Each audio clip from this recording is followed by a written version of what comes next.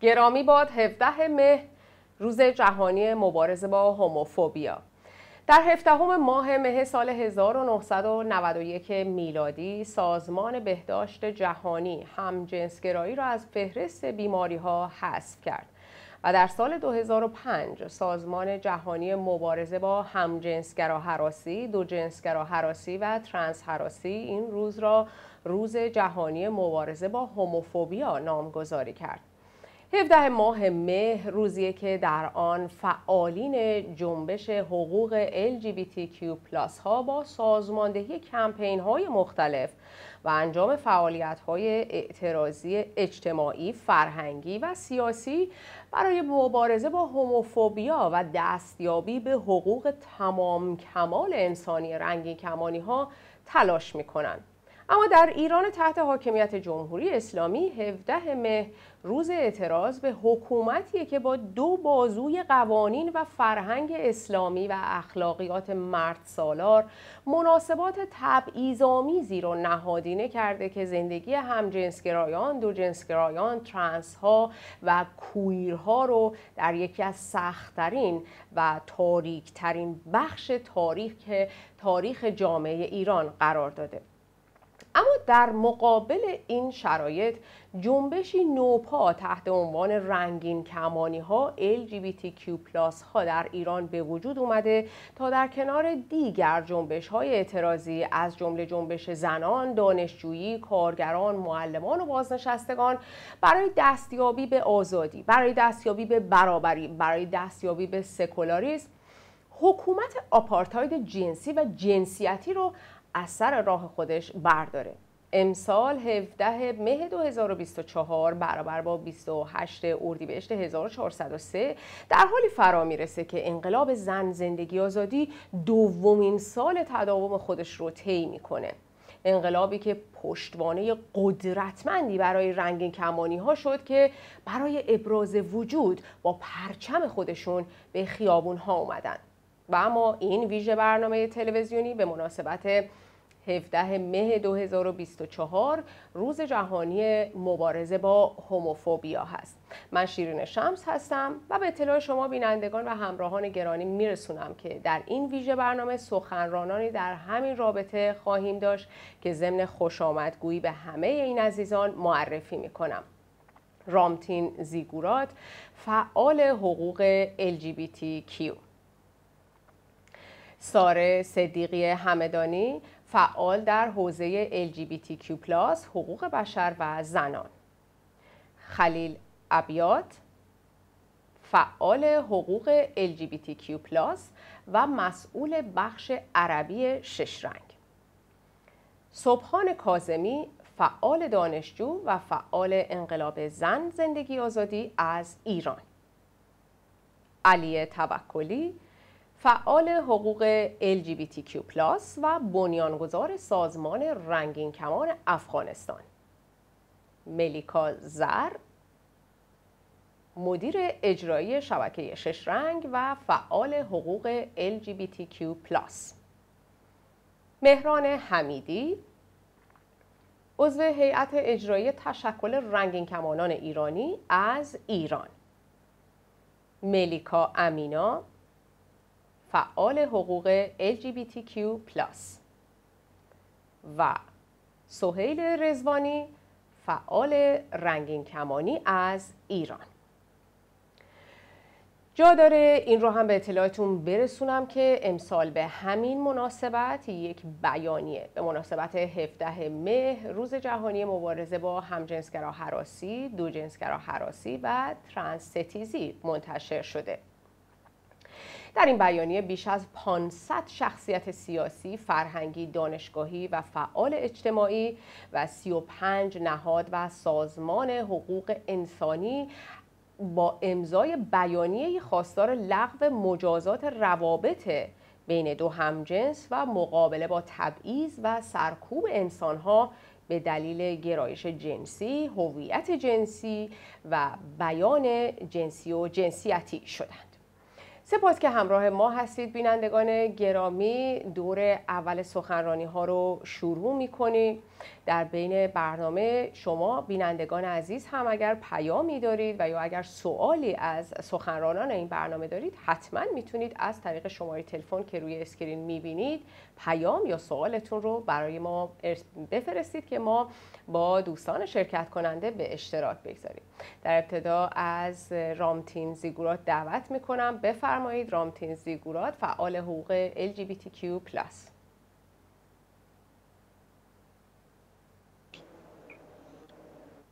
سلام درود عرض می‌کنم خدمت شما دوستان گرامی و بینندگان عزیزتون. امیدوارم که میگه خوب باشه. 17 می همیشه برای من یا 27 اردیبهشت همیشه روز خیلی مهمی تو زندگی من بوده. چون که این روز روزی بوده که من فعالیت اجتماعی در زمینه LGBT رو شروع کردم.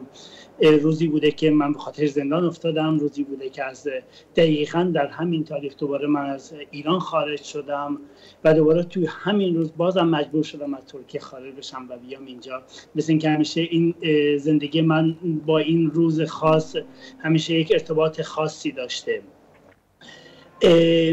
من این روز رو با این جمله می‌تونم شروع بکنم. تنها بیماری که وجود داره در زمینه هوموفوبیا هستش ترانسفوبیا هستش. یعنی نحوه بودن ما شکل ما گرایش ما انتخاب ما یک انتخابی هستش که هر کسی به صورت آزادانه می‌تونه تو زندگی خودش داشته باشه. ولی نفرت از این آزادی دیگران نفرت از این که دیگران شما رو به اون شکلی که هستن نپذیرن این یک نوع بیماری هستش. و همیشه من گفتم باید به خودمون افتخار بکنیم به عنوان کسایی که می‌تونیم و تلاش می‌کنیم به شکلی که هستیم زندگی بکنیم. متاسفانه در جامعه ما یک جامعه سنتی و بیمار بیمار شده توسط حکومت خیلی مشکلات زیادی وجود داره.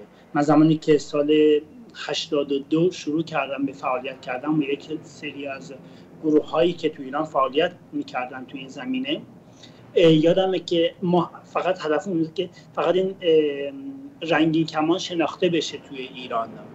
ولی خوشبختانه امروز می‌بینم که رنگین کمان تو ایران شناخته شده. با اینکه خیلی از افرادی که تو ایران افراد جامعه LGBT که تو ایران هستن دچار مشکل هستن و سختی های فراوانی رو دارن زندگی می‌کنن. ولی باز هم می‌بینم که این فعالینی که داخل ایران هستن به ویژه من ارزش فوق العاده زیادی برای این افراد قائل هستم. چون ما زمانی که ایران بودیم سختی خیلی زیادی می‌کشیم و اونایی که داخل ایران هستن سختی زیادی می‌کشن. مایی که خارج از ایران هستیم تلاشمون هر چقدر زیبا باشه که هست و مهم هم هست ولی ارزش افراد و دوستانی که داخل ایران داخل افغانستان داخل کشورهای ما فعالیت می‌کنن خیلی بیشتره. متاسفانه میگم حکومت در طول چهل و اندی سال عمر خودش همیشه تلاش کرده که جامعه LGBT رو به عنوان یک جامعه مفسد یک جامعه ضد انسانی به عنوان یک جامعه بد نشون بده. بیمار نشون بده و همیشه مورد آزار و اذیت قرار داده و افراد این جامعه رو همیشه سعی کرده که به شکلی مجازات بکنه.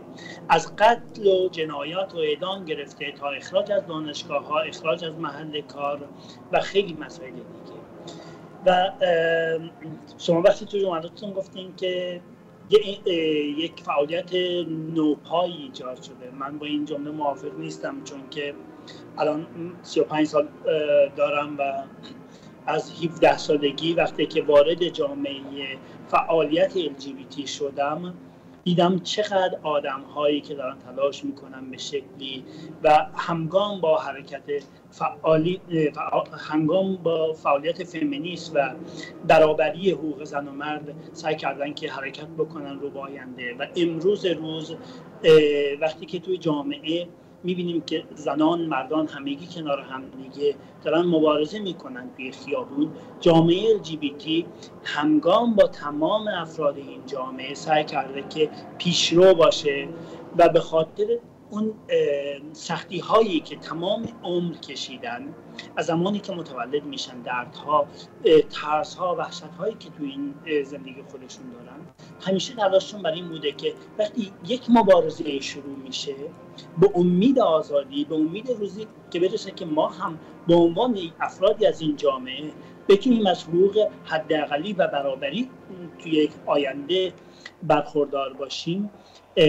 سعیشون همیشه برای این بوده که با هر مبارزه با هر حرکتی هنگام هنگام با مردم بشن و بیان توی خیابون ها و این همیشه به من دلگرمی میده که افراد خیلی زیادی هستن توی ایران فعالیت می‌کنن خوشبختانه. میگم سازمان هست اینجا فعالیت می‌کنن. کسایی رو دارن که تو ایران باشون همکاری بکنن ولی کسای خیلی از افرادی هستن که دارن بینام و بدون این کس هم بخوان خودشون مشخص بشن با هیچ سازمانی ارتباط داشته باشن با هیچ فردی ارتباط داشته باشن دارن مبارزه می‌کنن و درود میگم از اینجا به همه این دوستان. و از شما تشکر می‌کنم که این روز این برنامه رو گذاشتیم تا بتونید صدای این گروه از جامعه باشیم گروه که همیشه سختی کشیده و سعی کردن که مبارزش رو داشته باشه مرسی رامتینزی گورات. منم تشکر می‌کنم که دعوت ما رو پذیرفتی و در این برنامه حضور پیدا کردی.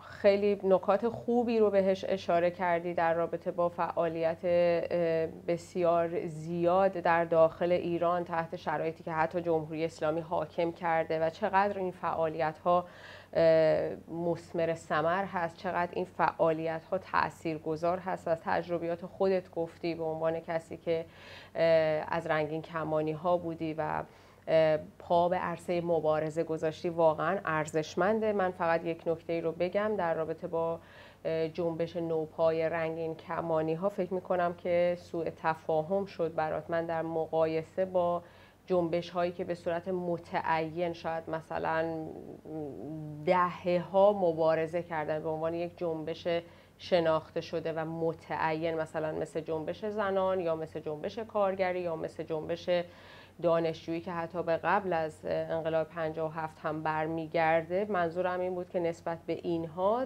در جامعه ایران تحت حاکمیت جمهوری اسلامی این جنبش اتفاقا متعین شد. خودش رو متعین کرد به عنوان یک جنبش مبارزاتی و جنبش سیاسی. من منظورم این بود. امیدوارم که مفهوم بوده باشه.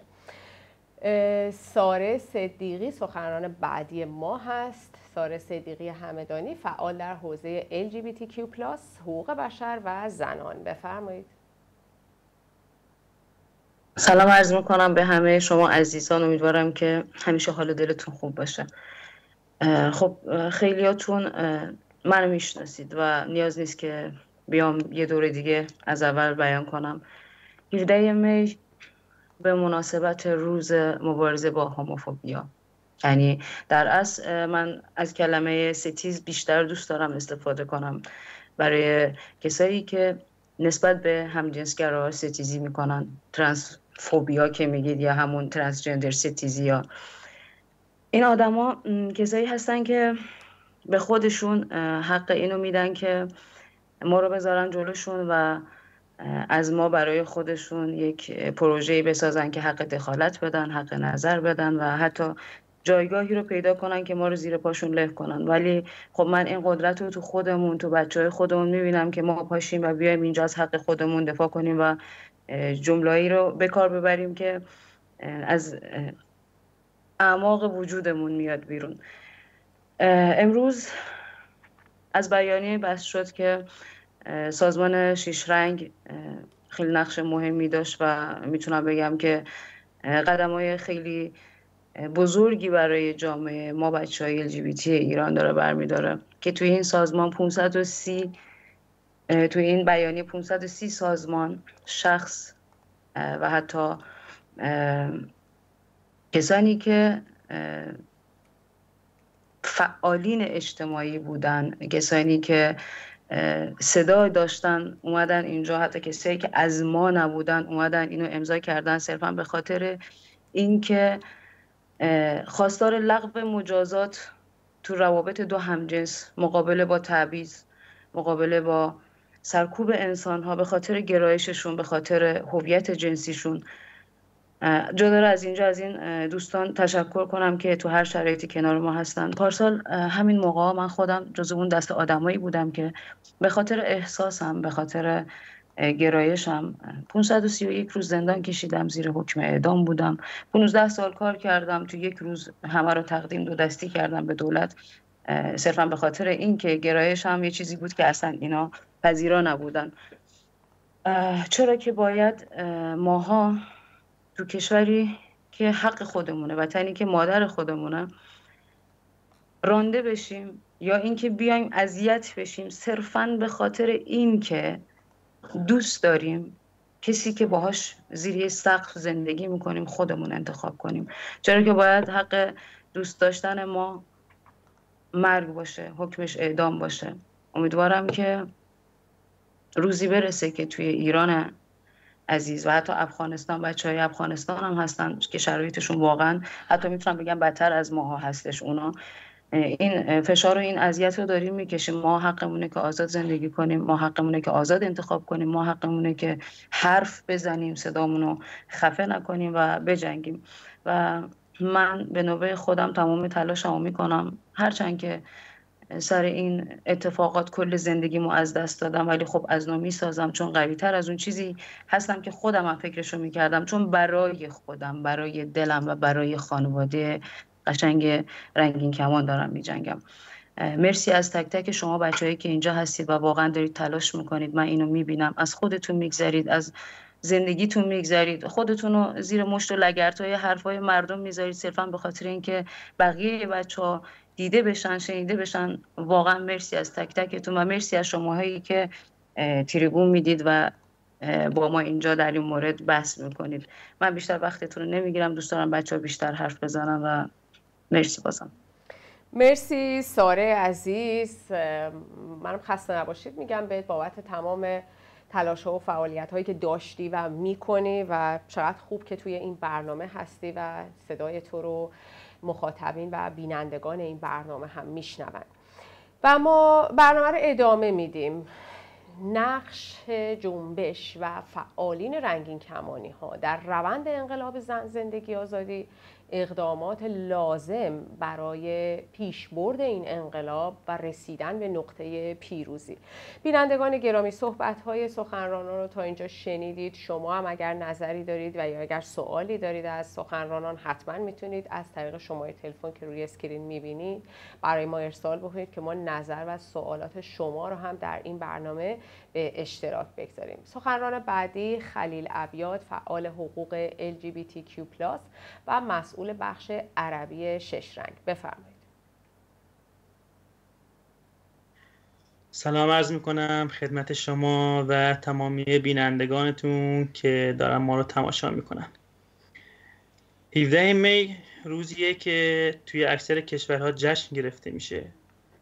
روزیه که بچه های LGBT به همراه سایر اشخاص دیگه توی خیابان ها این روز رو جشن می‌گیرن و فعالیت ها سالها فعالیت خودشون رو نشون میدن که چجوری برای حقوق خودشون جنگیدن.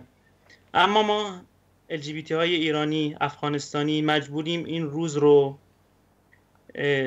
در واقع اعتراض کنیم و در این روز ما بیشتر حکومت ها رو به خاطر قوانینی که وجود داره و استفاده می‌کنن سرکوب کنیم.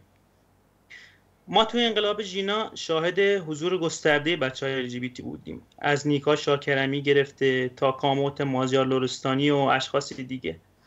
حضور گسترده داشتن سازمان, ها، سازمان های زیادی در طول انقلاب ژینا بیانی های زیادی منتشر کردند.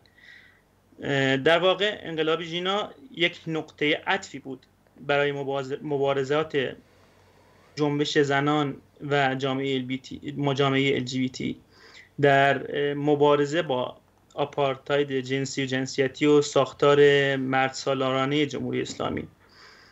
ما توی انقلاب ژینا چه در ایران و چه توی کشور اروپایی کانادا آمریکا کلا هر کسی که به سوشیال مدیا دسترسی داشته باشه به قطع شاهد این بودیم که بچه های LGBT چطور حضور گسترده ای داشتن. تصاویری که توی میدانهای معروف توی تهران چه توی اهواز چه شهرهای دیگه گرفتن و داخل سوشال مدیا ارسال کردن و شاهد اون بودیم. و همشون همه ما همه فعالین این حوزه چه فعالین سیاسی چه فعالین مدنی و و و خواهان لغو جرم انگاری رابطه هم جنسگرایانه بودیم. رسانه ها تمامی فعالین باید درک کنن باید اینو بفهمن که رسیدن بدون آزادی بدون در نظر گرفتن حقوق جامعه LGBT بدون در نظر گرفتن حق تمامی اشخاصی که توی این چند دهه مورد تبعیض قرار گرفتن امکان پذیر نیست.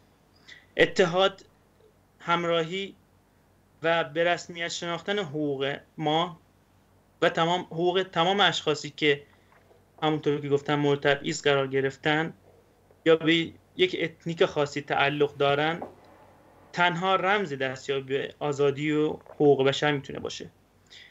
همطور که خودتون گفتید امروز شاهد بودیم که بیانیه‌ای یک بیانیه‌ای مهم توسط 500 شخص و 34 سازمان حقوق بشری امضا شده. همه اون 500 شخص ممکنه از جامعه LGBT نباشن ولی اومدن از این حق از این حقوقمون که سالها نادیده گرفته شده حرف زدن. این بیانیه رو امضا کردن تا بگن ما هم خواهان جرمزدایی و تضمین تمام حقوق افراد جامعه LGBT هستیم. این یعنی اتحاد.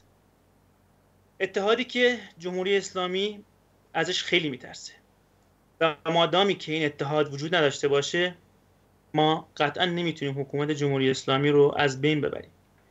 امیدوارم که این اتحاد همیشه پیوسته باشه و هر روز شاهد بیشتر شدن اون باشیم.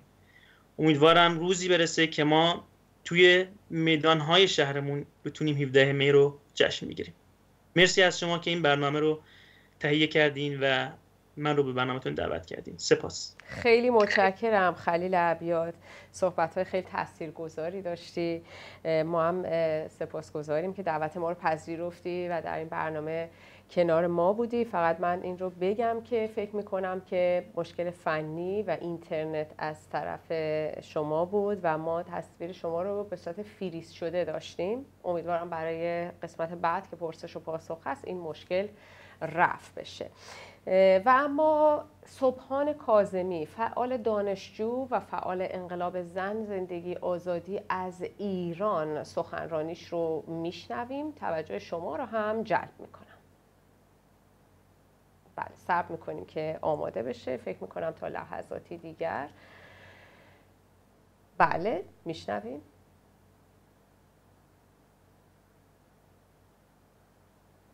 سلام و وقت خیر به همه شنونده های گرامی. نقش جنبش و فعالین رنگین کمانی و در واقع میشه گفت کسانی که دقدق مندان و فعالان این جنبش هستند که حالا ممکنه لزوما بخشی از رنگین کمانی ها نباشن. میشه گفت فعالین حقوق انسانی جامعه. در جریان انقلاب زن زندگی آزادی به نظرم یک نقش تعیین کننده بوده. در تعیین ایار آزادی خواهی و برابری خواهی و مدرنیسم و سکولاریسم. به معنی واقعی کلمه زمانی که ما در جریان انقلاب زن زندگی آزادی با خواسته های مترقی جامعه روبرو می شدیم با خواسته های روبرو می شدیم که تا پیش از انقلاب زن زندگی آزادی خودشون رو در خیابان نشون نداده بودن. مثلا در دانشگاه ها ما شاهد این بودیم که چندین و چند بار شعار کویر ترنس رهایی یا ترنس کویر رهایی اینها در دیوارهای دانشگاه ها نقش بست و به مناسبت های متفاوتی که از جمله همین 17 می که روز مبارزه علیه هوموفوبیا هست این نمودها رو ما برای اولین بار در جریان یک حرکت انقلابی در جریان یک انقلابی که در ایران آغاز شده ما دیدیم.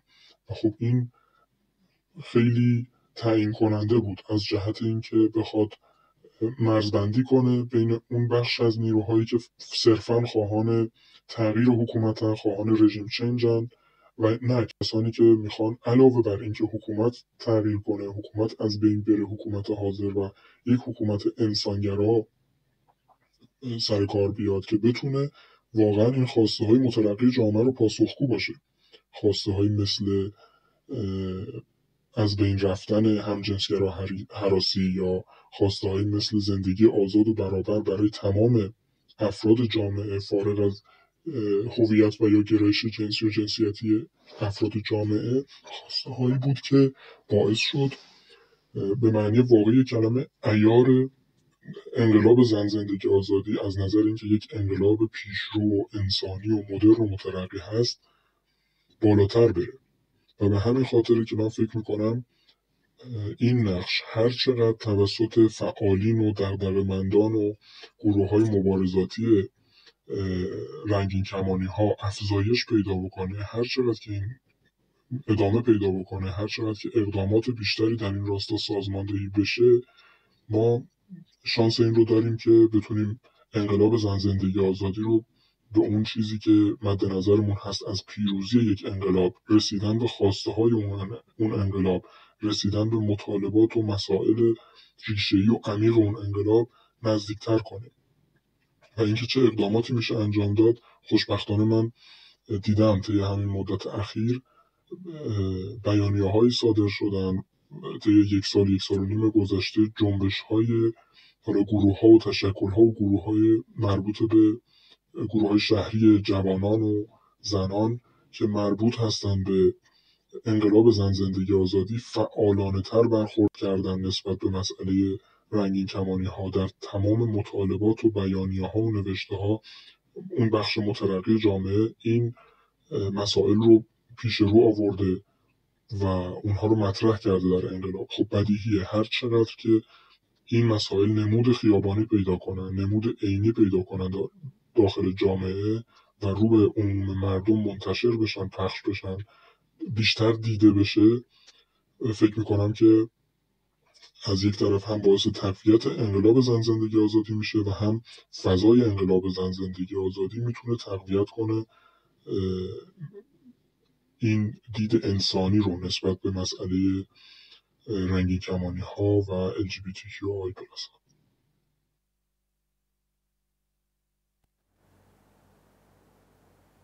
بله سخنرانی صبحان کازمی رو شنیدید. فعال دانشجو و فعال انقلاب زن زندگی آزادی از ایران که به نقش جنبش و فعالین رنگین کمانی ها در روند انقلاب زن زندگی آزادی اشاره کرد و همچنین اقدامات لازم پیش رو برای پیروزی انقلاب که امیدوارم مورد توجهتون قرار بگیره.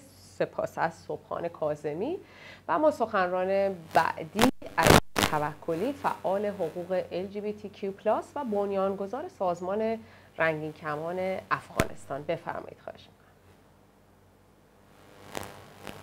سلام درود بر شما. خیلی خوشحال هستم که در برنامه حضور دارم و صحبت می‌کنم به عنوان یکی از افراد LGBTQ افغانستان که سال هاست در سرکوب قرار دارند سال هاست که از خیابان گرفته تا خانه از خانه تا فضای مجازی در سرکوب هستند LGBT بودن حتی من بگویم از جامعه LGBT افغانستان از سرکوبی که ما قرار گرفتیم. آگاهی طوری بود که حتی ما نمیفهمیدیم که LGBT یعنی چی. طوری به ما وانمود می‌کردن که ما از قوم لوط هستیم. که باید سانسور شویم تعداد زیاد LGBT های افغانستان در سکوت سرکوب شدن در سکوت اعدام شدن در سکوت در ملای عام سانسور شدن. تعداد ترانسجندر های زنان لزبیانی زنان ترانسی فقط به خاطر اینکه چرا جنسیتت متفاوت است؟ چرا تو مثل ما نیستی تو کفر هستی؟ این سرکوب طوری بود سیستماتیک هم از طرف دولت هم از طرف فعالین افغانستان. من اینجا نباید فراموش بکنم. حتی فعالین ما که دا دایه حقوق بشری داره من در افغانستان بودم که به یک از فعالین گفتم حقوق بشر یعنی چی؟ آیا یک فرد همجنسگرا در این فعالیت شما به عنوان در حقوق بشر شما سهم دارن؟ گفتی حکمش اعدام است. سنگسار است. و این از این ما استقبال می‌کنیم شما ببینید وقتی یک فعال افغانستانی به این افکار میاین خودش فعال حقوق بشر معرفی می‌کنن خانواده ها معمولا. در زمانی که ما در سرکوب کامل بودم در یک قفسی تعداد زیاد افراد الژی مورد سوء استفاده جنسی قرار می گرفتن مورد بچه بازی سوء استفاده بچه بازی کمیسیون حقوق بشر داشتیم. همیشه از بچه بازی یاد می‌کرد. حالا یاد نمی‌کرد که قربانی بچه بازی کیها هستن؟ آیا افراد تی هستن؟ افراد ترانس هستن؟ یک فرد ترانس با قیمت هفت هزار افغانی فروخته می‌شد. یک انسان ارزشش یک میلیون تومن بود. شما تصور بکنید افرادی که در سکوت سرکوب میشون حتی مامورین دولتی سهم در سرکوب داشتن و سهم در جنایت بشری داشتن. من زمانی که خودم شناختم به عنوان یک LGBT به عنوان یک گی یک همجنسگرا به این نظر رسیدم که من باشم یا نباشم در افغانستان مثل همه های مثل همه خانواده رنگین کمانی منم یک روز سنگسار میشم. اما چه بهتری که طور سر سنگسار شوم که صدایم حداقل به خبرگزاری برسد. من تعداد زیادی از دوستانم خود را در افغانستان از دست دادیم. در سکوت ناپدید شدن گناهشان چی بود؟ LGBT بودن. ببینید طالب و هم فکران طالب و در زمان حکومت جمهوریتی که آمریکا آمدن آمریکا خودش آمد اولین قانونی که برای افغانستان تعمیل کرد جرمنگاری افراد LGBT بود. همین خارجی ها در قانون اساسی ما افراد LGBT طبق قانون شریعت مجازات اعدام داشت. حکومتی که داد از دموکراسی می زدن خیلی سخت بود خیلی قربانی های ما از دست دادیم در سکوت. در بیسوادی کامل به سر می بردیم تعداد زیادی افراد که 90 فیصد من می‌تونم بگویم که اینا از درس و تحصیل در افغانستان محروم شدن. از خانوادهشان تبعید شدن. به خاطر جنسیتشان. و تنها همه قد امید داشتن که ما فردا زنده میمانم یا نمیمانم از جامعه از خانواده همه رو بدن. زمانی که طالبان به قدرت رسید یک موجی یک جنبش یک شجاعتی از جامعه الژی افغانستان نشان دادن. اولین طالبان که وقتی که به قدرت رسید من از خاطره خود در افغانستان می‌تونم در خاندان خود براشون بگم. اولین صدایی که شنیدم الله اکبر بود. همین که شنیدم مسیجا شروع شدن گفتن طالبان به دنبال افراد همجنسگرا و ال هستند یکی یکی ناپدید می شدن گاهی خیلی فرار می‌کردن خیلی خیلی من خودم شخصا زمانی که من رو پیدا کردن و من پیام دادن من تنها کاری کردم ساعت یک بجه شب از هرات به نمروز فرار کردم. از نمروز غیر قانونی به طرف ایران فرار کردم. در ایران طوری به ما برخورد می شدن که فقط بگید ما انسان نیستیم. به مدت چند ماهی در ایران بعد برگشت به افغانستان و بعد تخلیه به آلمان. وقتی که به آلمان رسیدم تنها هدفم این بود بله. که ما این سرکوب دیگر دوام ندارد. ما استاده میشیم. یادی از همین روزی هفتم می به من یاد داد که ما در برابر تبعیض در برابر همجنسگرا ستیزی در برابر ترانس ستیزی در برابر جنسیت ستیزی استاده هستیم. در تمام کشورها امروز جشن است. ولی در افغانستان ایران امروز روزی هست که جامعه الژی برای یک مبارزه قویتر علیه این ستمگران این سرکوبگران این افراطیون و این یزیدان امروزی استاد میشن و مبارزه خود را از نو شروع می‌کنن. اگرچه مبارزه ما جریان داره بلکه قوی تر جنبش زن زندگی آزادی یک جنبش بود که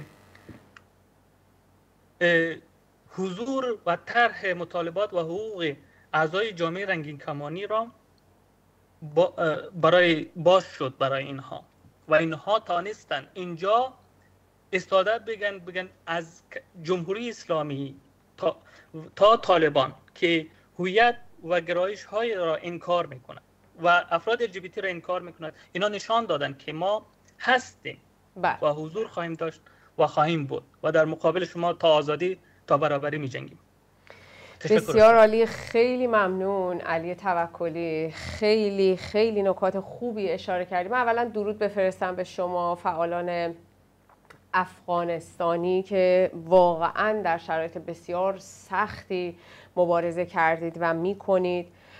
واقعا ارزشمنده و این پیوند بین رنگ کمانی های ایران و افغانستان و خاورمیانه اتفاقا این جنبش رو بسیار قدرتمندتر می‌کنه. ما هم سعی می‌کنیم از به هر حال امکاناتی که داریم از طریق برنامه های تلویزیونی تریبونی برای LGBTQ پلاس های ایران، افغانستان و کل خاورمیانه باشیم.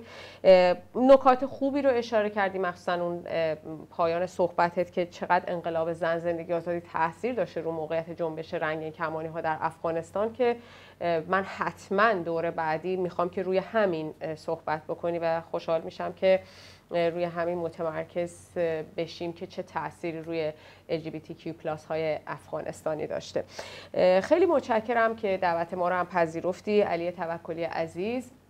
و ما برنامه رو ادامه میدیم. بینندگان گرامی نقش جنبش و فعالین رنگین کمانی ها در روند انقلاب زن زندگی آزادی و اقدامات لازم پیش رو برای پیروزی انقلاب. شما که بیننده این ویژه برنامه زنده هستید می‌تونید حتما از شماره تلفن که روی screen می‌بینید نظرتون رو به صورت متن کتبی یا voice برای ما بفرستید. اگر سوالی هم از سخنرانان دارید حتما برای ما ارسال کنید که ما نظر و سوالات شما رو به اشتراک بگذاریم. اما سخنران بعدی ملیکا زر مدیر اجرایی شبکه شش رنگ و فعال حقوق LGBTQ+.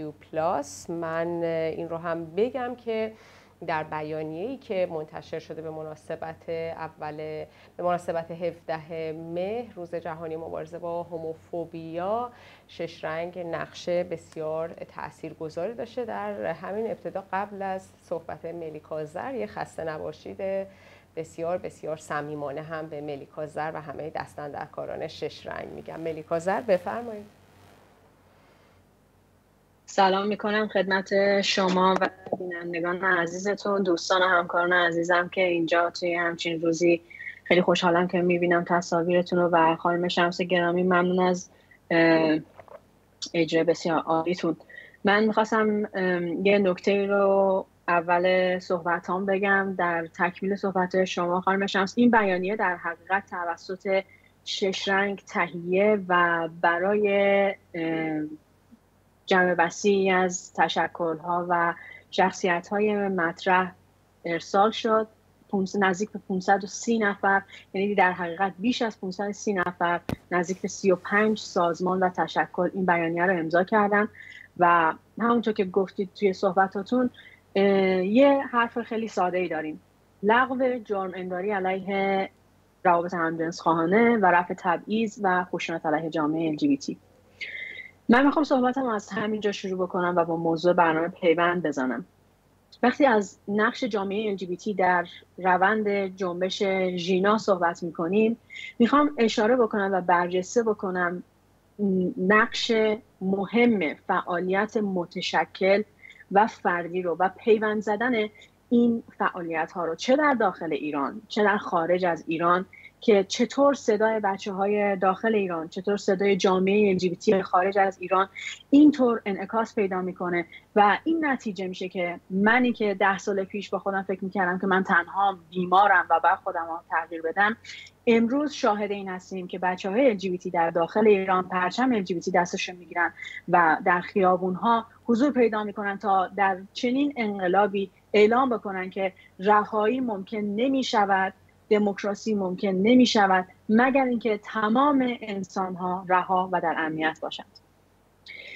سالهای سال منم با رامتین عزیز موافقم که سالهای سال تلاش و فعالیت اعضای این جامعه چه به صورت متشکل چه به صورت فردی تاثیر گذاشته در اینکه امروز ما اینجا بیستیم که بیش از 530 شخصیت و تشکل حقوق بشری سیاسی اتنیکی و دانشگاهی از گروه های متنوع اتنیکی سیاسی با نگرش مختلف سیاسی بیان این بیانیه رو امضا بکنن و حمایت بکنن از مطالبه برحق و انسانی جامعه LGBT خیلی مهم و تاثیرگذاره که ما هر کدوم نقش خودمون رو توی این مسیر ببینیم. من می‌خوام از این طریق به بچه های LGBT که دارن این برنامه رو نگاه می‌کنن درود بفرستم و این روز رو بهشون تبریک بگم. بگم مبارزه شما مستدامه مبارزه شما نتیجه داشته پرثمره. و اینکه امروز ما در مرحله هستیم که در روز 17 ماه می به برنامه های مختلفی دعوت میشیم. در مورد این موضوع روزمون صحبت می‌کنیم. این خودش نشونه اینه که حضور ما باید به رسمیت شناخته بشه و دیده شده.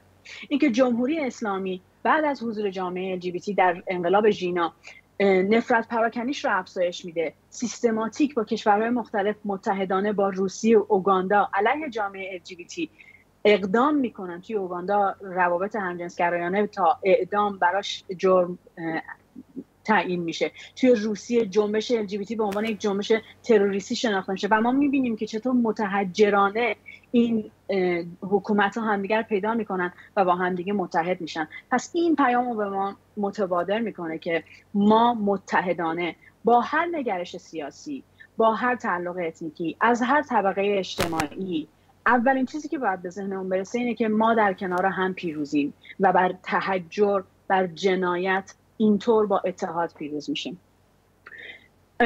دوستانم در کمپین آپارتاید جنسیتی صحبت می‌کنن از آپارتاید جنسیتی در ایران و افغانستان. علی عزیز از تجربهش در افغانستان گفت این یک حقیقته حقیقتی که ما باید با به رسمیت شناختن اون به جامعه LGBT صدای بیشتری بدیم فعالیت متشکل جامعه LGBT رو بهش اهمیت بدیم. این ساده نیستش که گروهی از جامعه LGBT ایرانی دور هم جمع بشن یا گروهی از جامعه LGBT افغانستانی دور هم دیگه جمع بشن. با این حد از سرکوب این حد از محرومیت از امتیازات و امکانات, ها، امکانات دور هم دیگه جمع بشن تلاشی بکنن که امروز ما بتونیم بگیم که جنبش LGBT ایران در مرحله که در سطح جهانی و در سطح خود ایران حداقل به حدی از شناخت رسیده که مردم فکر می‌کنن با خودشون که چرا باید یه دو نفر آدم به خاطر نوعی که به همدیگه عشق میورزن یا نوعی که با همدیگه ارتباط برقرار می‌کنن مجازات بشن.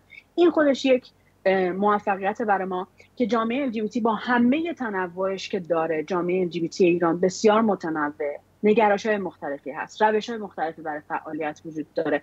اما اینکه امروز جایی ایستادیم که می‌تونیم بگیم بیش از 530 فرد و تشکل اومدن صریحا گفتن که باید جرم زدایی بشه از رابطه بین دو همجنس و هر گونه تبعیض و خشونت علیه جامعه LGBT رو باید باهاش مقابله کرد یک موفقیت بسیار بزرگی برای ما.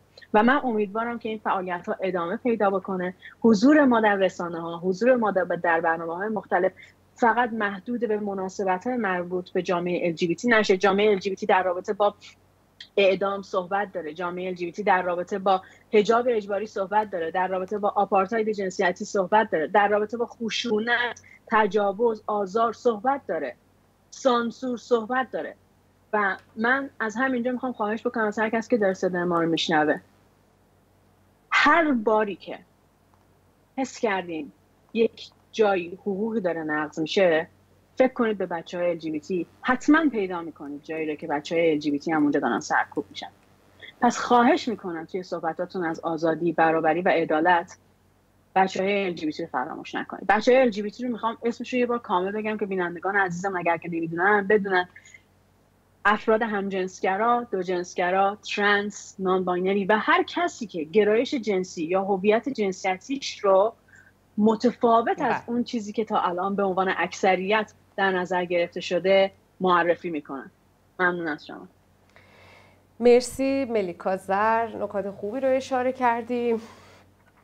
حتما در بخش بعدی راجع به اون مسئله که اشاره کردی که جنبش LGBTQ پلاس ها در رابطه با اعدام، هجاب، آپارتاید جنسیتی صحبت داره حتما صحبتات رو بیشتر خواهیم شنید. اما به بیانیه‌ای که به مناسبت 17 مه منتشر شده من دوباره یک اشاره خواهم داشت. این بیانیه همونطور که صحبت شد برای لغو مجازات روابط دو همجنس و تضمین حقوق انسانی اونها تدوین شده. بیش از 500 شخصیت سیاسی، فرهنگی، دانشگاهی و فعالین اجتماعی و 35 نهاد حقوق بشری با امضای این بیانیه خواستار شدند که مجازات روابط دو همجنس و مقابله با تبعیض لغو بشه و با تبعیض و سرکوب انسانها به دلیل گرایش جنسی، هویت جنسیتی و یا بیان جنسیتی اونها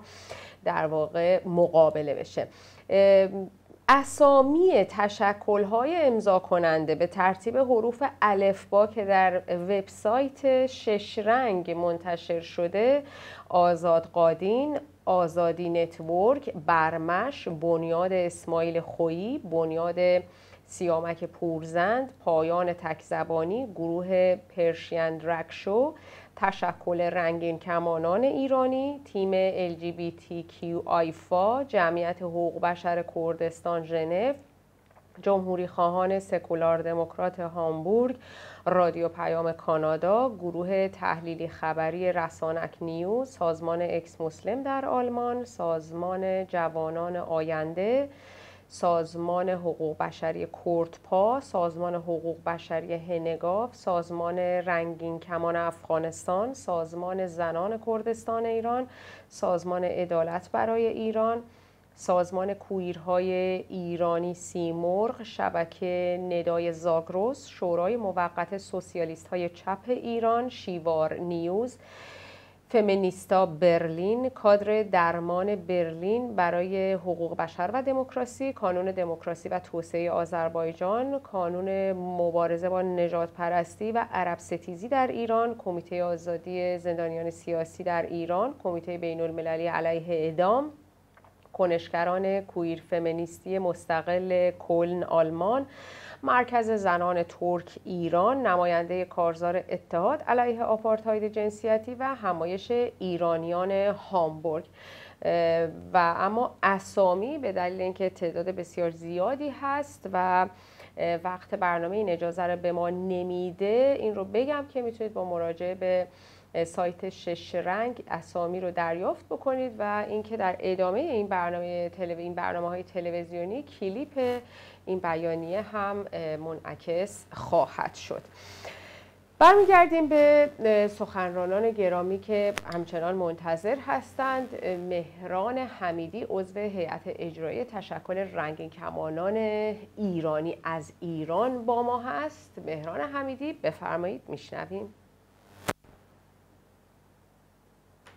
خیلی ممنون. من سلام میدم به شما و مهمانان عزیز و بیننده های گرامی خیلی خوشحالم که در جمع شما حضور دارم و این برنامه شرکت کردم و همچنین گرامی میدارم 17 می و روز جهانی مبارزه با هوموفوبیا و کویر ستیزی و همچنین که خودت اشاره داشتی تشکر می‌کنم از همه کسانی که توی این بیانیه مشترک برای روز جهانی مبارزه با هوموفوبیا شرکت کردن و حمایت خودشون رو اعلام داشتن و این نشون میده که ما می‌تونیم کارهای بزرگ انجام بدیم. البته خب بیانی های مشترک در این یک, و نیم سال دو سال به مناسبت های مختلف تشکل ها داشتن. اما این یک اوجی بود و نشون داد که ما جنبش دفاع از حقوق LGBTQ های ایرانی داره وارد یک فضای بزرگتر سیاسی میشه و خودش رو بین فعالین سیاسی اجتماعی پیدا کرده. اما من اگه بخوام بگم ما چجوری به اینجا رسیدیم و این چجوری این فضای سیاسی اینجوری شد که حالا ما یک رشد زیاد داشتیم. من باید این رو اشاره کنم که جامعه ایران الان داره به سمت تعیین تکلیف نهایی و اساسی خودش با جمهوری اسلامی و ساختارهای سیاسی اقتصادی فکری گفتمانی مذهبیش پیش میره. و در این فضای رادیکال همیشه اخشاری که بی حقوق بودن به حاشیه رفته بودن و به قول معروف چیزی برای از دست دادن نداشتن اینها می اومدن و ابراز وجود می‌کردن صدای خود رو بلند می‌کنن و این یک فرصت میشه که این افراد بتونن خواستا و مطالبات خودشون رو بیان کنن. و LGBT های ایرانی که جز بیحقوق ترین و مورد ستم و تبعیض ترین اخشار ایران هستند اونها از این فضای سیاسی و مبارزات هر وقت که این فضا ایجاد شده. یعنی شما نکن از اعتراضات سال 78 88 96 98 و اوج اون رو در انقلاب زن زندگی آزادی و انقلاب ژینا محسا امینی دیدیم خودشون نشون داد و وارد شد. یعنی ما با یک جنبشی روبرو هستیم که می‌خواد زندگی کنه می‌خواد حقوق انسانی داشته باشه خواهان آزادی و برابریه. و وقتی که در انقلاب زن زندگی آزادی به عنوان یک انقلاب انسانی پیشرو مدرن سکولار این فضا رو دید که آغوش باز هست. یعنی می‌تونه بیاد و اونجا اون اعتماد و اون امنیت رو حس کرد. دیدیم که وارد خیابون ها شد. در خیابان های یزد عراق تبریز قزوین مشهد همه جا هر جایی که امکان داشت پرچم رنگین کمانی رو آورد و بعدش ما موج بوسه های رنگین کمانی رو داشتیم.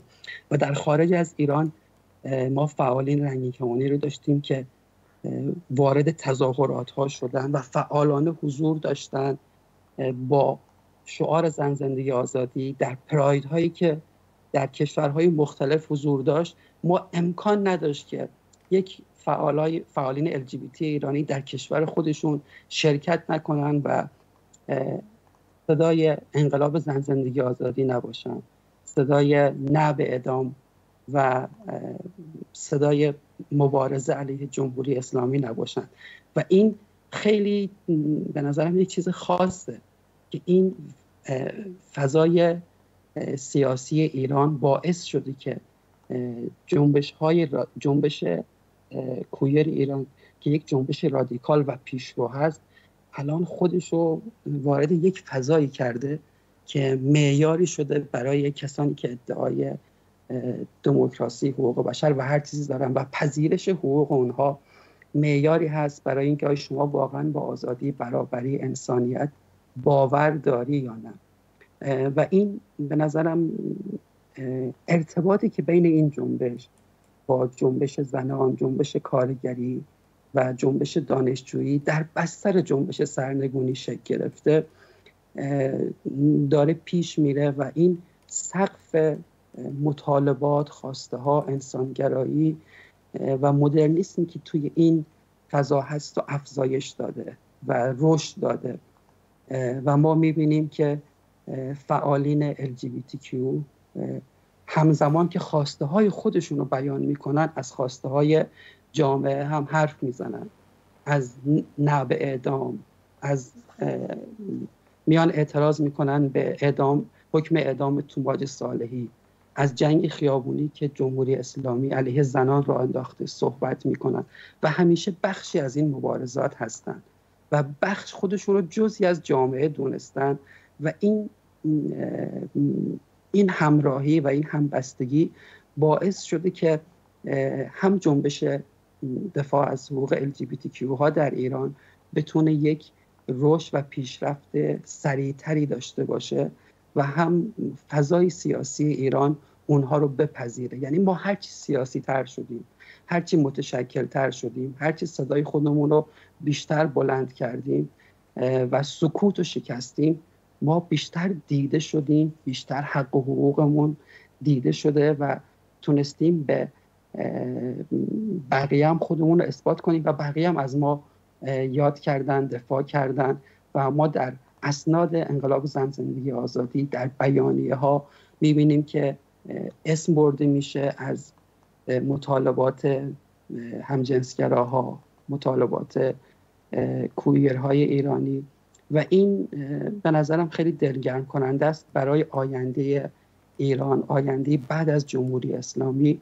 که ما بتونیم یک آینده ای رو داشته بله. باشیم که در اون همه افراد جامعه حالا فارغ از جنسیت گرایش جنسی قومیت نژاد مذهب بتونیم بله. یک جامعه انسانی رو شکل بدیم و بتونیم یک دنیای بهتر رو بسازیم به امید روزی که همه انسان ها بتونن آزاد برابر زندگی کنن و مبارزه با هوموفوبیا به نظر من مبارزه با استبداد تبعیض زن ستیزی نرمهوری و مبارزه با جمهوری اسلامی هست.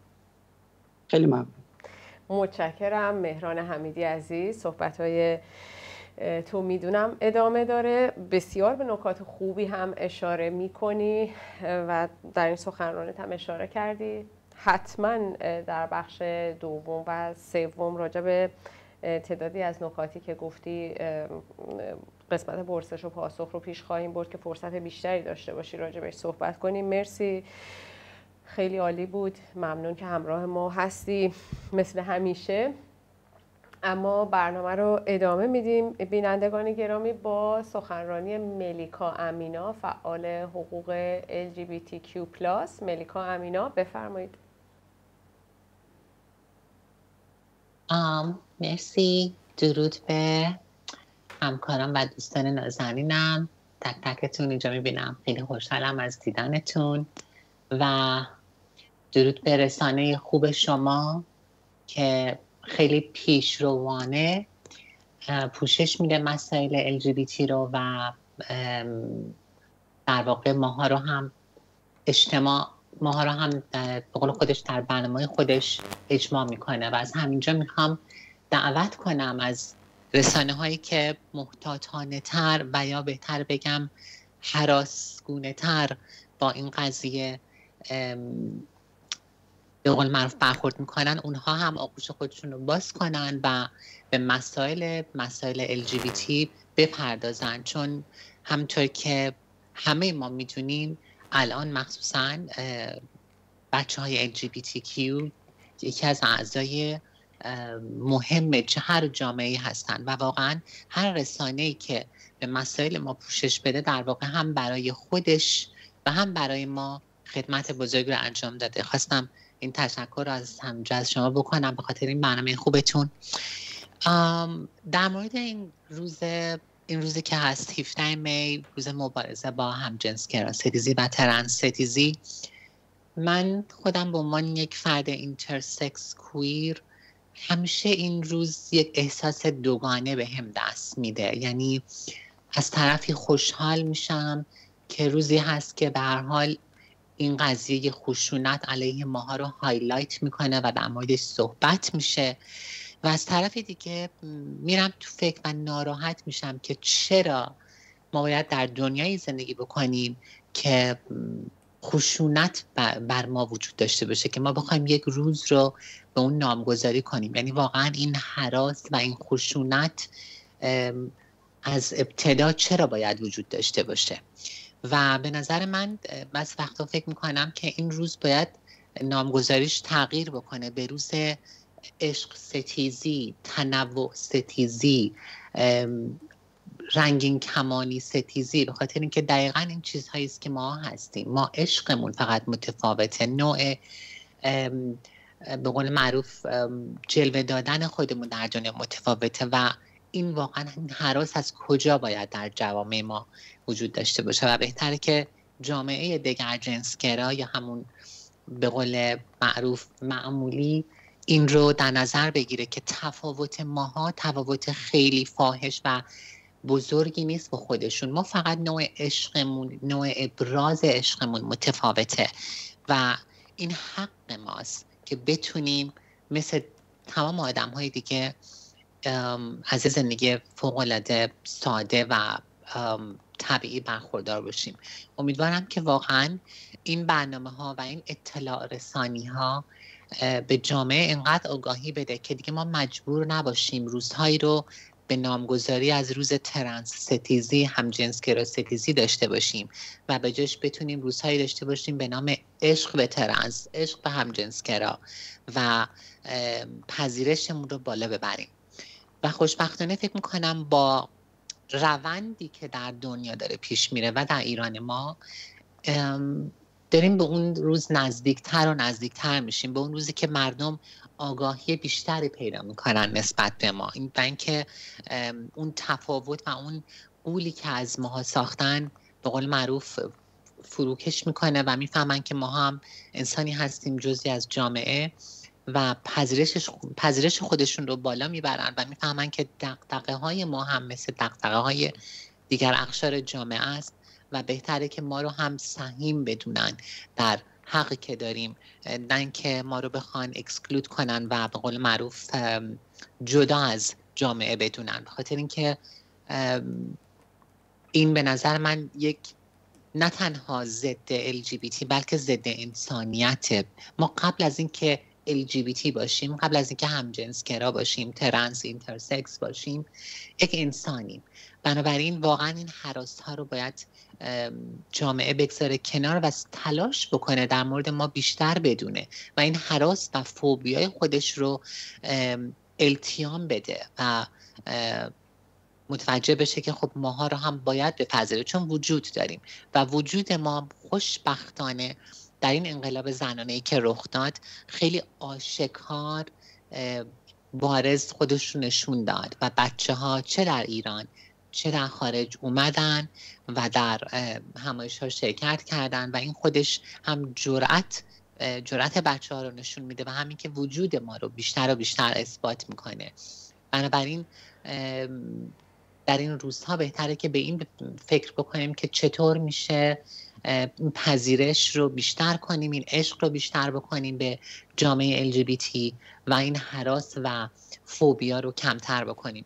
و امیدوارم که در ایران فردای ما محیطی, بر، محیطی برپا بشه که واقعا بچه ها بدون این دقدقه هایی که نسل ما داشت بتونن رشد کنن زندگی کنن خودشون رو بروز بدن و اون تلاش مضاعفی رو که ماها مجبور شدیم به خاطر سرکوب های سیستماتیک سرکوب های اجتماعی که برامون اعمال شد رو انجام بدیم اون تلاش مضاعف رو نداشته باشن و بتونن مثل تمام بچه ها و افراد دیگه جامعه به حقوق یکسان دسترسی پیدا کنن. چون واقعا برای یک فرد LGBT در ایران به غیر از دقدقه هایی که همه دارن دقدقه اثبات وجود دقدقه هویت وجود دقدقه احترام دقدقه امنیت هم وجود داره و امیدوارم که واقعا روزی برسه که بچه ها این دقدقه ها رو نداشته باشن و جامعه با پذیرش کامل و با اطلاع مندی خودش بتونه ماها رو در آغوش بگیره. و همونطور که گفتم من با اون روز خیلی خوش بینم به خاطر اینکه وقتی که نگاه می‌کنم به تاریخچه موومنت و به قول معروف بله. پروسه LGBT در کشورهای دیگه اینها همین مسیرها رو گذروندن. بنابراین امید به اون روز دارم که ایران ما هم به همین شکل آزاد و پذیرشمند باشه. مرسی. خیلی ممنون ملیکا امینا. بسیار بسیار دلنشین. صحبت کردی واقعا نکاتی که اشاره کردی در رابطه با اینکه چه سیری طی می‌کنه هر جامعه برای اینکه هر بخش مطالبهگر اون جامعه به حق و حقوقش برسه واقعی هست. ما هم در همون مسیر هستیم و داریم مبارزه می‌کنیم. خیلی خوشحالم که امروز در این برنامه بودی. واقعا بسیار صحبت خوبی داشتی به عنوان یک فعال این در واقع عرصه و کسی که خود تجربه هایی رو داشتی.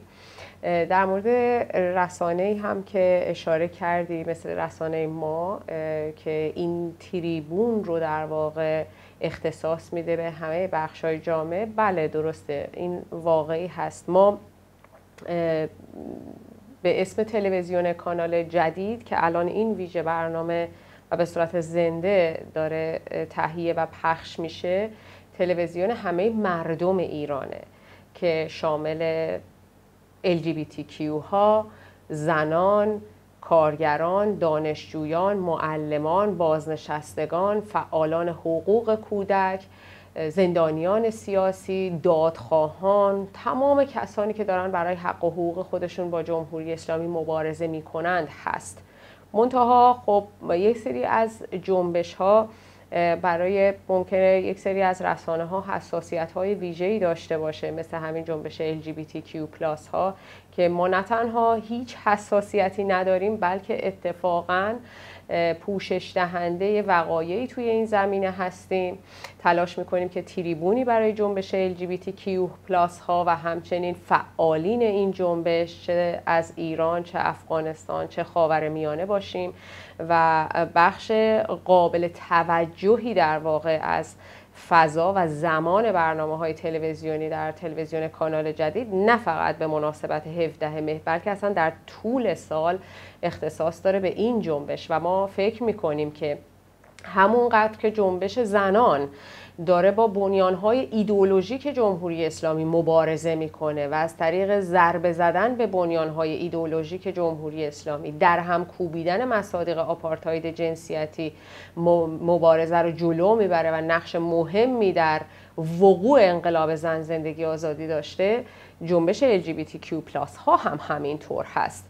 به عنوان یک جنبشی که همیشه جمهوری اسلامی سعی کرده که افراد LGBTQ رو اعدام بکنه حذف فیزیکی بکنه زندگیشون رو نابود بکنه مبارزه در این جنبش بسیار حائز اهمیت هست و مبارزه با اون بنیانهای ایدئولوژیک ضد انسانی و قرون وسطایی جمهوری اسلامیه. بنابراین ما تلاشمون این هست که در این مسیر مبارزه علیه جمهوری اسلامی بیشترین پوشش رو در جنبش های مبارزاتی داشته باشیم و تمام کسانی که جمهوری اسلامی بیشترین ستم ها رو بر اونها روا داشته. در رابطه با پراید هم بگم ما از جمله رسانه هایی هستیم که البته من رسانه سراغ ندارم که به صورت زنده و کامل فستیوال های پراید رژه های افتخار رو منعکس کرده باشه. ولی به طور مثال ما سال گذشته تمام رژه افتخار شهر استکهلم سوئد و که فکر می‌کنم بیشتر از دو ساعت شد ما کاملا اختصاص دادیم به پخش زنده در تلویزیون کانال جدید که روی سه ماهواره پخش میشه رو به ایران و کل جهان پخش میشه. اینکه مردم در ایران در فضای این رژه های پراید به طور مستقیم قرار بگیرن. ببینن که نهادها تشکلها حتی احزاب سیاسی در این رژه های افتخار شرکت می‌کنن. از حقوق رنگین کمانی ها LGBTQ ها حمایت می‌کنن و مردمی که در ایران هستند که به سختی ممکنه که اطلاعاتی عموما مردم دست پیدا بکنن یا حالا محدود بشن از اطلاع رسانی ولی از طریق این برنامه تلویزیونی و از طریق ماهواره بتونن حتی لحظه به لحظه پراید استوکلم و لحظه به لحظه فستیوال پراید استوکلم رو ببینن که چه اتفاق میفته. به علاوه اینکه حالا مثلا فستیوال های پراید دیگر هم اگر تونسته باشیم به صورت زنده پخش بکنیم حتما این کار رو انجام میدیم. این رو خواستم بگم که این برای تلویزیون کانال جدید بسیار حائز اهمیت هست که این جنبش حتما حتما بخشی از برنامه های تلویزیون کانال جدید رو بهش اختصاص بده و پوشش بده. بازم ممنونم که این توجه رو داشتی ملیکای عزیز. امیدوارم که منم مثل تو امیدوارم که همه رسانه ها بدون چون و چرا بدون حساسیت به در واقع مبارزه جنبش LGBTQ ها بپردازند و فقط در مقاطعی محدود این کار را نکنن بلکه بخش ویژه از زمان و در واقع فضایی که در تلویزیونشون دارند رو به این جنبش اختصاص بدن.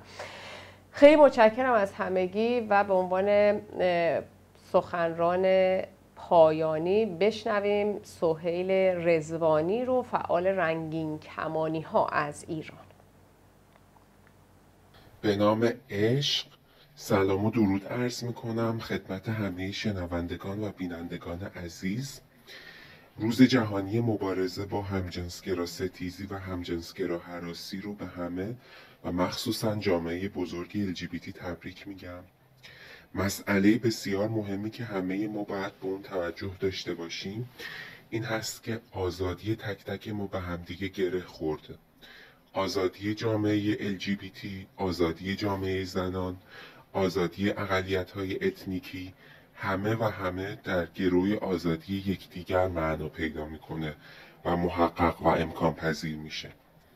در انقلاب زن زندگی آزادی شاهد نقش بسیار بزرگ مهم و پررنگ جامعه LGBT بودیم چه در تظاهرات چه در تظاهرات و اعتراضات خیابانی در ایران و چه در سازمان ها و نهادهای حقوق بشری در خارج از ایران. و همونطور که مشاهده می‌کنیم از انقلاب زن زندگی آزادی به این ور نفرت پراکنی حکومتی و سیاسی علیه, علیه این جامعه توسط سران رژیم ظالم و قاسب جمهوری اسلامی دو چندان شدت گرفته و بیشتر شده. در این روز که روز جهانی مبارزه با همجنسگرا حراسی هست یک بار دیگه باید نشون بدیم که همه و همه کنار همدیگه یک صدا و یک پارچه هستیم و برای آزادی با این سیستم و نظام فاسد می جنگیم. به امید روزی که همه ما در ایران در کمال عشق، آرامش، صلح و با حقوق برابر زندگی کنیم. سپاس گذارم. خیلی متشکرم از سهیل رزوانی که برای ما به صورت ویس سخنرانیش رو فرستاد از ایران. من هم آرزوی واقعا صلح و آرامش دارم که این در واقع در گروه پیروزی انقلاب زن زندگی آزادیه. و اما دور اول سخنرانی ها به پایان رسید. همه که خسته نباشید میگم. و همچنین شما بینندگان گرامی که به صورت زنده دارید این برنامه رو از طریق تلویزیون کانال جدید دنبال می‌کنید. من با توجه به اینکه به فصل به پراید اشاره کردم می‌خوام یه اشاره تکمیلی داشته باشم که الان داریم به فصل پراید نزدیک میشیم چه بسا ممکنه در برخی نقاط دنیا هم شروع شده باشه. این رژه های افتخاری که هر ساله برگزار میشه یک فرصت بسیار بسیار بزرگ پیش روی ما هست که صدای انقلاب زن زندگی آزادی در تمام دنیا باشیم از این فرصت های جهانی واقعا باید استفاده بکنیم. یعنی یه فرصتی هست یه بستری هست که ما بتونیم در تمام نقاط جهان در این رژه های افتخار شرکت بکنیم. با شعارهای انقلاب زن زندگی آزادی با بیان مطالبات رنگین کمانی ها در ایران که به گوش دنیا برسونیم که واقعا رنگین کمانی ها LGBTQ ها در ایران چی می‌خوان؟ می‌خوان مثل LGBTQ ها مثل مردم عادی مثل جوان ها در خارج از کشور زندگی بکنن. و حق مردم ایران هست که یک زندگی امن و با آرامش داشته باشن. حق مردم افغانستان هست. حق LGBTQ های افغانستانی هست که بتونن مثل LGBTQ ها در تمام دنیا زندگی بکنن. چرا باید مردم افغانستان این همه زجر بکشن این همه ستم رو تحمل بکنن؟ چرا مردم در خاور میانه باید همیشه زیر تیغ حکومت ها و دولت ها و جریانات اسلامی باشن؟ بنابراین من فکر می‌کنم که این رژه های افتخار با توجه به اینکه الان دومین سال انقلاب زن زندگی آزادی هست که این رژه های افتخار فرام می‌رسه ما لازمه که بیشترین استفاده رو ببریم و در این رژه های افتخار خواستار بسته شدن سفارتخانه های جمهوری اسلامی بشیم خواستار اخراج سفرهای جمهوری اسلامی بشیم. از تمام کشورها خواستار قرار گرفتن سپاه پاسداران در لیست سازمان های تروریستی بشیم. خواستار بایکوت جمهوری اسلامی به عنوان یک حکومت آپارتاید جنسی و جنسیتی بشیم. عینا همون کاری که جهان در یک مقطع زمانی با حکومت آپارتاید نژادی آفریقای جنوبی کرد. بنابراین من این رو خواستم تاکید بکنم ضمن اینکه این رو هم بگم که خب یه زمانی بود در رژه های افتخار ایرانی ها به سختی شرکت می‌کردن. حتی فعالان رنگین کمانی ها خیلی به سختی شرکت می‌کردن چون فضا هنوز در خارج از کشور هم سنگینی می‌کرد روی دوش فعالان LGBTQ ها روی نهادها روی تشکلها. ولی خب خوشبختانه ما می‌بینیم که در دو دهه اخیر مشخصا در 15 سال گذشته این فضا عوض شده تغییر کرده. می‌بینیم ایرانی ها میان شرکت می‌کنن حتی خودشون اگر LGBTQ نباشن نهادها تشکلها سازمانها احزاب میان شرکت می‌کنن. و البته خیلی به ندرت هستن ولی این خودش نشانه خیلی خوبیه. این رو هم بگم که سازمان جوانان کمونیست اولین سازمان سیاسی اپوزیسیون جمهوری اسلامی هست که پرچم رنگین کمانی ها رو در رژای افتخار بالا برده. خب حالا تا قبلش ممکن بود نهادهای مدنی شرکت می‌کردن یا فعالین LGBTQ ها شرکت می‌کردن اما به عنوان اولین سازمان سیاسی اپوزیسیون جمهوری اسلامی سازمان جوانان کمونیست بود که در رژه افتخار شرکت کرد و دعوت کرد که تمام سازمان ها و احزاب اپوزیسیون جمهوری اسلامی با اسم سازمانشون و با اسم حزبشون در رژه های افتخار در تمام دنیا شرکت بکنن. من فکر می‌کنم که اینجا یک پیام کتبی دریافت کردیم. این پیام کتبی رو من اشاره بکنم. دوستان برای ما پیام کتبی فرستادن. من فکر می‌کنم دوست ما بیننده عزیز ما فرید آشنا همجنسگرا و فعال کویر از افغانستان.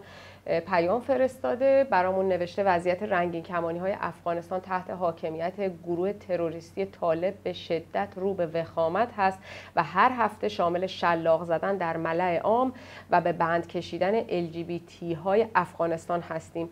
اعضای گروه تروریستی طالب با خشونت و شدت تمام در رسانه ها از حکم مرگ همجنسگرایان و ترنس ها حرف می‌زنند و این برای LGBT ها مایه ترس و وحشت روزافزون است. هرچند در دوره جمهوریت هم رنگین کمانی های افغانستان از حقوق و امنیت برخوردار نبودند. با آن هم در آن دوره کسی به جرم همجنسگرایی ادام نمی شدند اما اوضاع فعلی برای LGBT ها به شدت نگران کننده هست امیدواریم رسانه ها و سازمان های مدافع حقوق بشر و کشورهایی که در دو دهه اخیر در قضایای افغانستان دخیل بودند به این موضوع توجه بیشتر کنند. یک پیام صوتی هم دریافت کردیم. ندا دختر ترنس از ایران. پیام صوتی فرستاده. پیام صوتی ندا رو هم بشنویم. برگردیم با مهمانان برنامه ادامه انقلاب زن زندگی آزادی با حضور پررنگ افراد LGBT همراه بود. نسلی که در تمام طول عمر رژیم اسلامی سرکوب شده اما اراده خود را برای آزادی و برابری نشان داده و پیشتازان ایران آزاد هستند. من ندا دختر ترنس برای برقراری یک حکومت انسانی تمام تلاش خود را می کنم تا نسلهای بعدی زندگی خوبی داشته باشند. رنگین کمان را هرگز نمی‌توان کش چرا که نماد زیبایی و آزادی هست. من همونم که مورد تمسخر و تحقیر قرار گرفتم. من همونم که مورد تجاوز قرار گرفتم. من همونم که مورد شکنجه روحی و جسمی قرار گرفتم. حالا نوبت ماست برای سرنگونی تو. ما کابوس شما آدمکشان هستیم. ما خواب را از شما خواهیم گرفت. ما آماده تا بنیان شما را با آتش بکشیم و چنین خواهیم کرد. پیش به سوی آزادی و برابری. خیلی متشکرم از شما عزیزانی که پیامتون رو فرستادید چه به صورت متن کتبی چه به صورت voice تا اینجا فرصت کردیم که دو, دو پیام رو منعکس بکنیم. اگر فرصت بعدی هم باشه حتما منعکس می‌کنیم. در غیر این صورت مطمئن باشید که پیام های شما چه کتبی چه voice به دست ما می‌رسه. حتما در برنامه های دیگه پوشش داده خواهد شد. این بخش سوالاتی هست که در این برنامه ما می‌خوایم از شما عزیزان شرکت کننده بپرسیم یا نکاتی که شما در سخنرانیتون به اونها اشاره کردید می‌خوایم تاکید شما رو خیلی با زمان بیشتری بشنویم. فکر می‌کنم که حدود دو دقیقه و نیم کافی باشه برای اینکه به سوالات پاسخ بده چون وقت برنامه هم تقریبا این, این زمان رو به ما اجازه میده.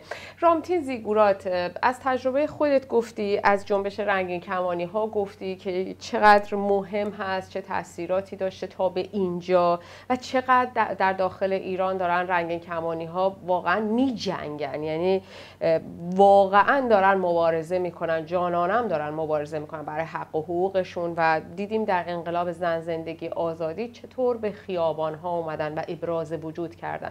حالا ما یه انقلابی داریم الان در دستمون انقلاب زن زندگی آزادی که یک فرصت تاریخی هست.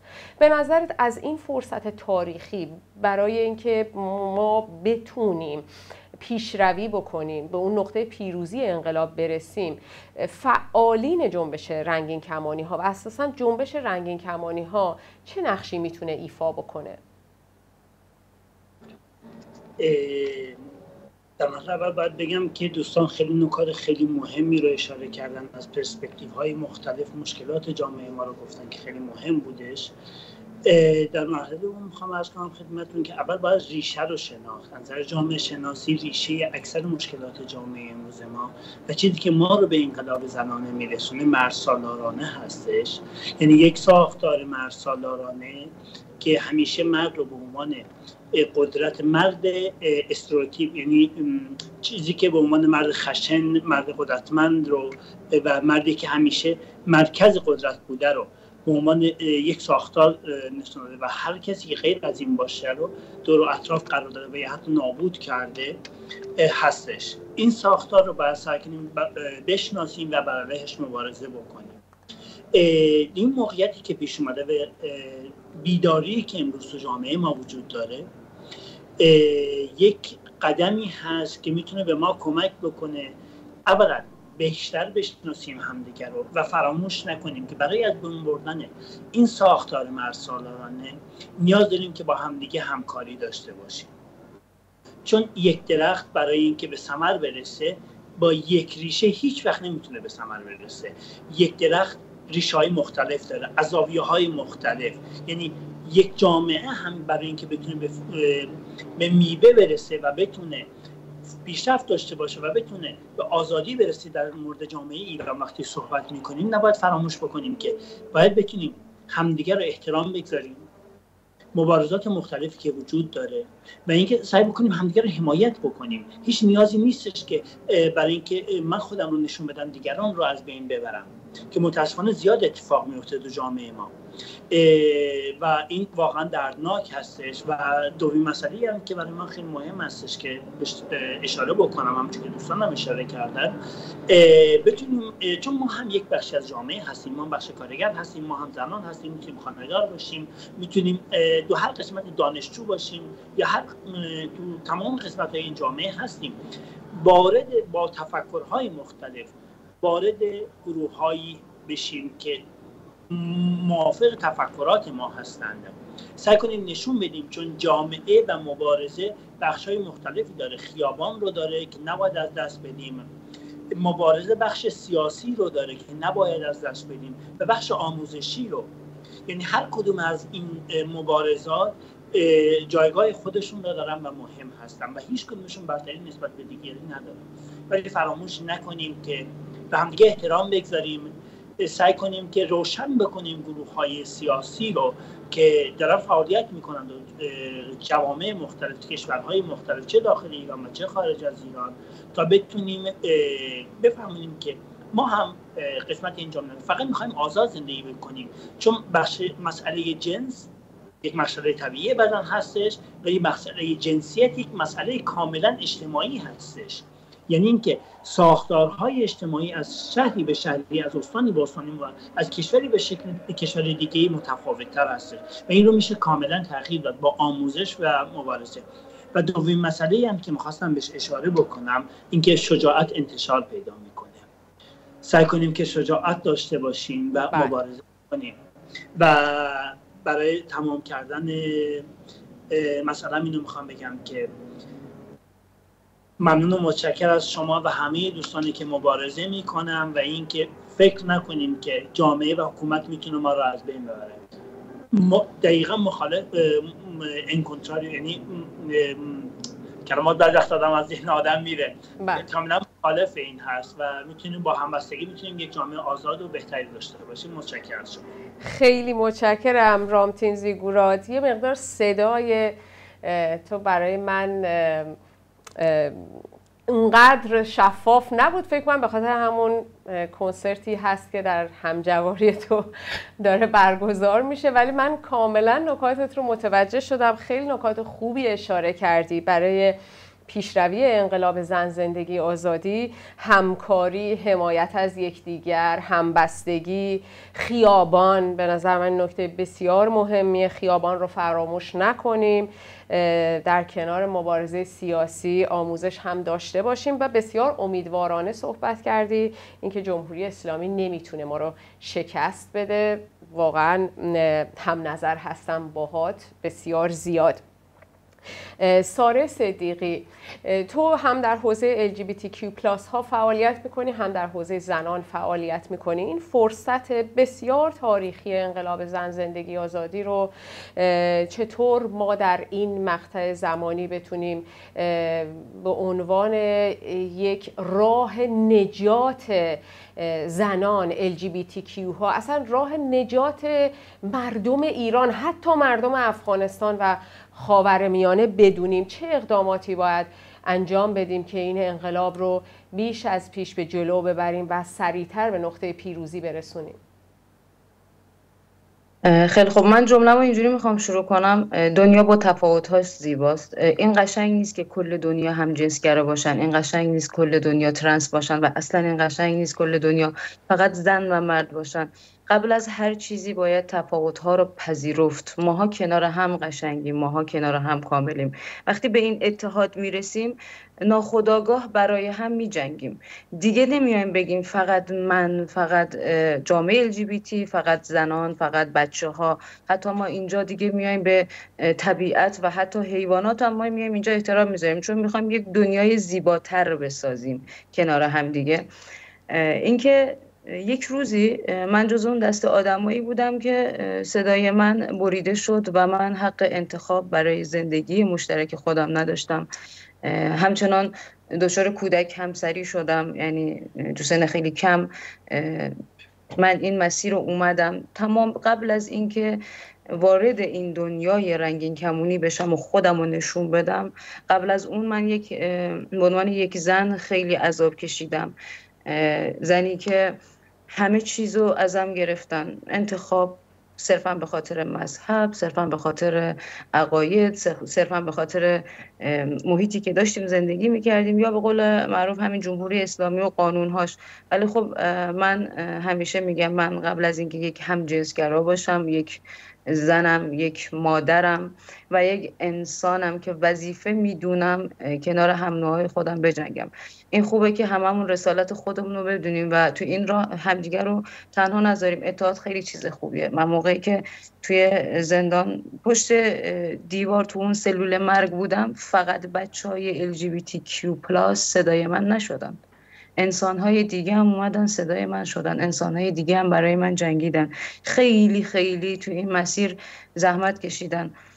خب من خونه ای داشتم به اسم شیشرنگ و هیچ کجا هیچکی منو نمیشرا خودم رو پرت کردم تو بغل شیشرنگ بعد یهو دیدم یه جامعه بزرگ آدم های متفاوت انسان ها اومدن منو بغل کردن و از اون مرگ نجات دادن آوردن بیرون و من اینجا وظیفه خودم و همه شما می‌دونم که صدای همدیگه باشیم کنار همدیگه باشیم. زندگی حق ماست. زن و مردم نداریم. وقتی میگیم زن زندگی آزادی یعنی اینکه ما دنبال حق انتخاب دنبال آزاد بودن و دنبال آرامش داشتن هستیم و باید دست به دست هم یک دست هیچ وقت صدا نداشته دست به دست هم بشیم بله. جایی رسید من افتادم شما بلند کنید شما افتادید من بلند می‌کنم. خسته نباشید. خیلی متشکرم ساره صدیقی. از اتحاد صحبت کردی از حمایت همه بخش های جامعه از یکدیگر. این خیلی مسئله مهمیه. این نکته ای هم که گفتی من جای دیگه هم شنیده بودم ازت که وقتی در زندان بودی چقدر به هر حال امیدوار می شدی وقتی می دیدی بیرون زندان دارن ازت حمایت می‌کنن فکر می‌کنم که این نقطه مشترک تمام کسایی که برای آزادی جنگیدن برای برابری جنگیدن برای حقوق انسانی جنگیدن توی زندان هستند. و انتظار دارن که همه بخش های جامعه از اونها حمایت بکنه و برای آزادیشون دست به مبارزه هرچه بیشتری بزنه. خیلی متشکرم ساره بیات بریم از خلیل ابیات بشنویم. امیدوارم که این بار تصویر خلیل ابیات رو به خوبی داشته باشیم و مشکل فنی رفع شده باشه. خلیل ابیات فکر می‌کنی که الان توی این مقطع زمانی که جمهوری اسلامی حملاتش رو بیشتر کرده به عموم جامعه به ویژه زنان در خیابان از طرفی در زندان ها اعدام می‌کنه. فقر و فلاکت دیگه بیش از هر زمانی کمر شکن تر شده. جنبشی مثل جنبش رنگین کمانی ها که یکی از نیروهای فعاله انقلاب زن زندگی آزادی بوده و هست چه نقشی می‌تونه ایفا بکنه در پیشروی انقلاب؟ بله اشاره کردیم به حملات حکومت جمهوری اسلامی. خواستم اشاره بکنم که واقعا تا قبل از انقلاب ژینا جمهوری اسلامی جامعه LGBT رو اصلا نادیده می‌گرفت. وجودش رو اصلا قبول نمی‌کرد. وجود خارجی می‌گفتن نداریم ما. توی انقلاب ژینا و چند ماه اخیر چند ماه اخیر ما دیدیم که طی یک برنامه‌ای که تو چارچوب برنامه امنیتی تولید می‌شد توی برنامه 23 اومدن و وجود ما رو قبول کردن در واقع. با اینکه به ما حمله کردن با اینکه ما رو با لقب های چیز چجور می‌تونم بگم که شایسته نیست اشاره کردن به ما ولی اونجا بود که ما رو قبول کردن وجود ما رو. اونجا وقتی آرم و آرم ششرنگ و نام ملیکازر رو چندین بار تکرار کردن این معنا برامون پیدا کرد که از این اتحادمون از این فعالیت هامون ترسیدن. و می‌گفت که میشه گفت که جامعه هر چند متشکل از زن مرد LGBT و و غیره جامعه حکومت جمهوری اسلامی از اونا میترسن وقتی متحد بشن. و خیلی سعی کردن که بین ما تفرقه بندازن. خواستن که این انقلاب رو خاموشش کنن. ولی نه تنها نتونستن این کار رو بکنن بلکه بیشتر مشخص کردن که ترسشون کجاست و چجوری از اتحاد ما میترسن. به نظر من ما همینجا هستیم. چه بین از صفای کارگران چه بین دانشجویان دانشجویانی که اعتراض کردن چه بین معلم هایی که هر روزه اعتراض می‌کنن ما هستیم. شاید ما به به خودمون به گرایشمون به جنسیتمون اشاره نکنیم ولی همه جا می‌تونیم حضور داشته باشیم و این حضور ماست که باعث میشه تمام اقشار جامعه با همدلی و با اتحادشون این انقلاب رو پیش ببرن. و به نظر من چه درون زندان باشیم چه خارج از زندان باشیم چه درون اجتماع باشیم چه صدا داشته باشیم چه اینترنت باشه چه فیلتر شکن باشه چه نباشه باز هم ما می‌تونیم با اتحادمون و با مبارزمون صدامون رو به جامعه برسونیم همونطور که دیدیم در ماهای اخیر گزارشگر سازمان بین الملل اشاره کرد به حقوق ما. شاید در سالهای پیش چین چیزی وجود نداشت و این تلاش های بچه های LGBT تلاش جامعه بود که باعث شد چین سازمانی بیاد و وقت بذاره برای ما. به صدای ما گوش بده و جمهوری اسلامی رو محکوم بکنه به آپارتد جنسیتی که وجود داشت. به تعرض جنسیت تعرض به اشخاص LGBT وقتی که دستگیر میشن و این صدامون شنیده شد و می‌دونم که صدای ما همیشه وجود داره. خواه اینترنت وجود داشته باشه خواه نباشه. ما هستیم و برای حق و حقوقمون تلاش می‌کنیم مبارزه می‌کنیم و دست از این مبارزه بر نمیداریم. مرسی ازتون. خیلی متشکرم خلیل ابیات. بله همینطور هست. ما در واقع با مبارزمون داریم یک بخشی از تاریخ رو رقم می‌زنیم که حتما سرنوشت عموم مردم رو تعیین خواهد کرد. الان کاملا عیان و مشخص هست که زنان و LGBTQ ها در ایران اون بخشی از جامعه که بسیار بسیار تحت ستم جمهوری اسلامی هست قرار نیست فقط قربانی بده بلکه قراره در خیابان ها سرنوشت ها رو تغییر بده هم سرنوشت خودش رو هم سرنوشت عموم جامعه رو. خیلی متشکرم. علی توکلی شما در رابطه با انقلاب زن زندگی آزادی صحبت کردی و تاثیراتش حتی روی جنبش LGBTQ ها در افغانستان. من اینجا می‌خوام بیشتر راجع به این صحبت بکنی که چقدر پیروزی انقلاب زن زندگی آزادی بجز اینکه LGBTQ های ایران رو رها می‌کنه تاثیر خواهد گذاشت در رهایی LGBTQ های افغانستان. و به نظرت چه اقداماتی در این مقطع زمانی جنبش رنگین کمانی ها و فعالین این جنبش برای پیشروی انقلاب زن زندگی آزادی می‌تونن ایفا بکنن؟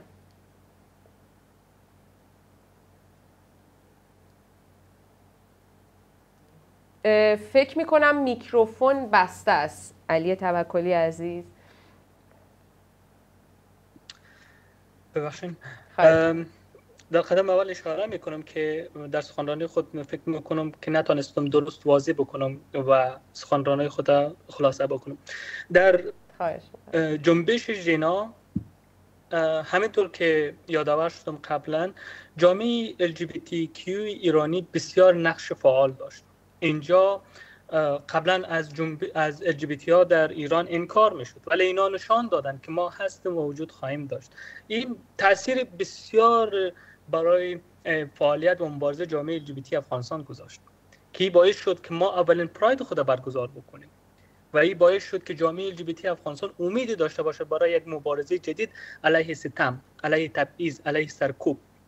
و این باعث شد که ما بتانیم مطالبات خود را و خواستای خود را از سازمان ملل و از فعالین افغانستان و خط خود را روشن بکنیم با اینا. ما خط خود با طالب با افکار طالب با حامیان طالب روشن بکنیم.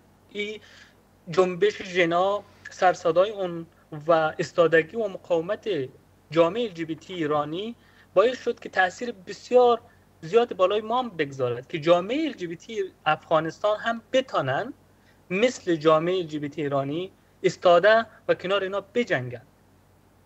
من قبلا از جامعه LGBT افغانستان یاد نمی‌شد حتی در سخنرانی در سازمان ملل.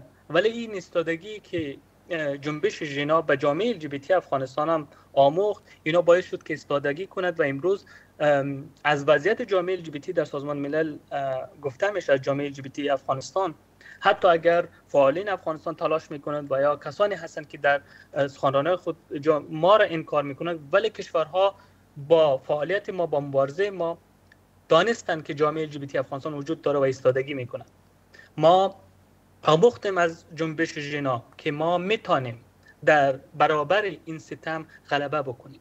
ما می‌تونیم که این افکار تروریستی جنسیت ستیزی از اینا موفقیت به دست بیاریم. کامیاب شویم در برابر اینها.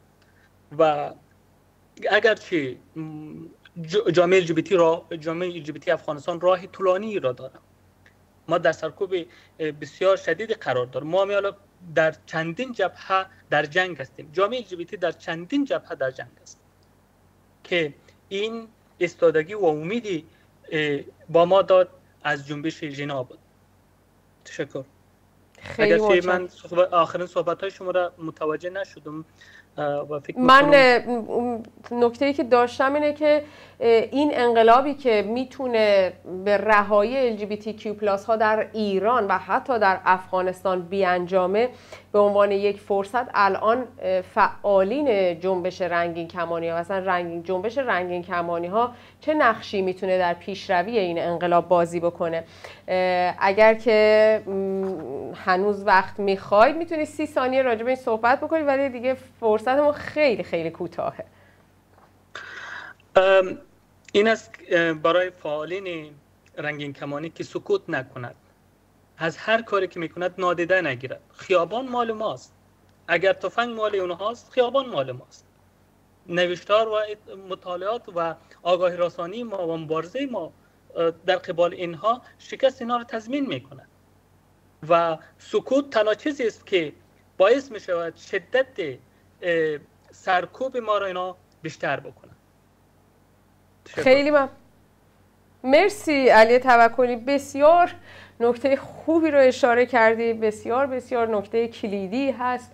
امیدوارم که فعالین جنبش رنگین کمانی ها در ایران و افغانستان صدای تو رو امروز شنیده باشند ملیکا زر در سخنرانیت به این اشاره کردی که جنبش LGBTQ ها فعالین این جنبش صحبت داره در رابطه با مبارزه علیه اعدام در رابطه با مبارزه علیه حجاب اجباری در رابطه با مبارزه علیه آپارتاید جنسیتی. الان می‌خوام به این بپردازی که این انقلاب زن زندگی آزادی که الان همچنان در جریانه و جمهوری اسلامی اتفاقا داره با جنگ علیه زنان.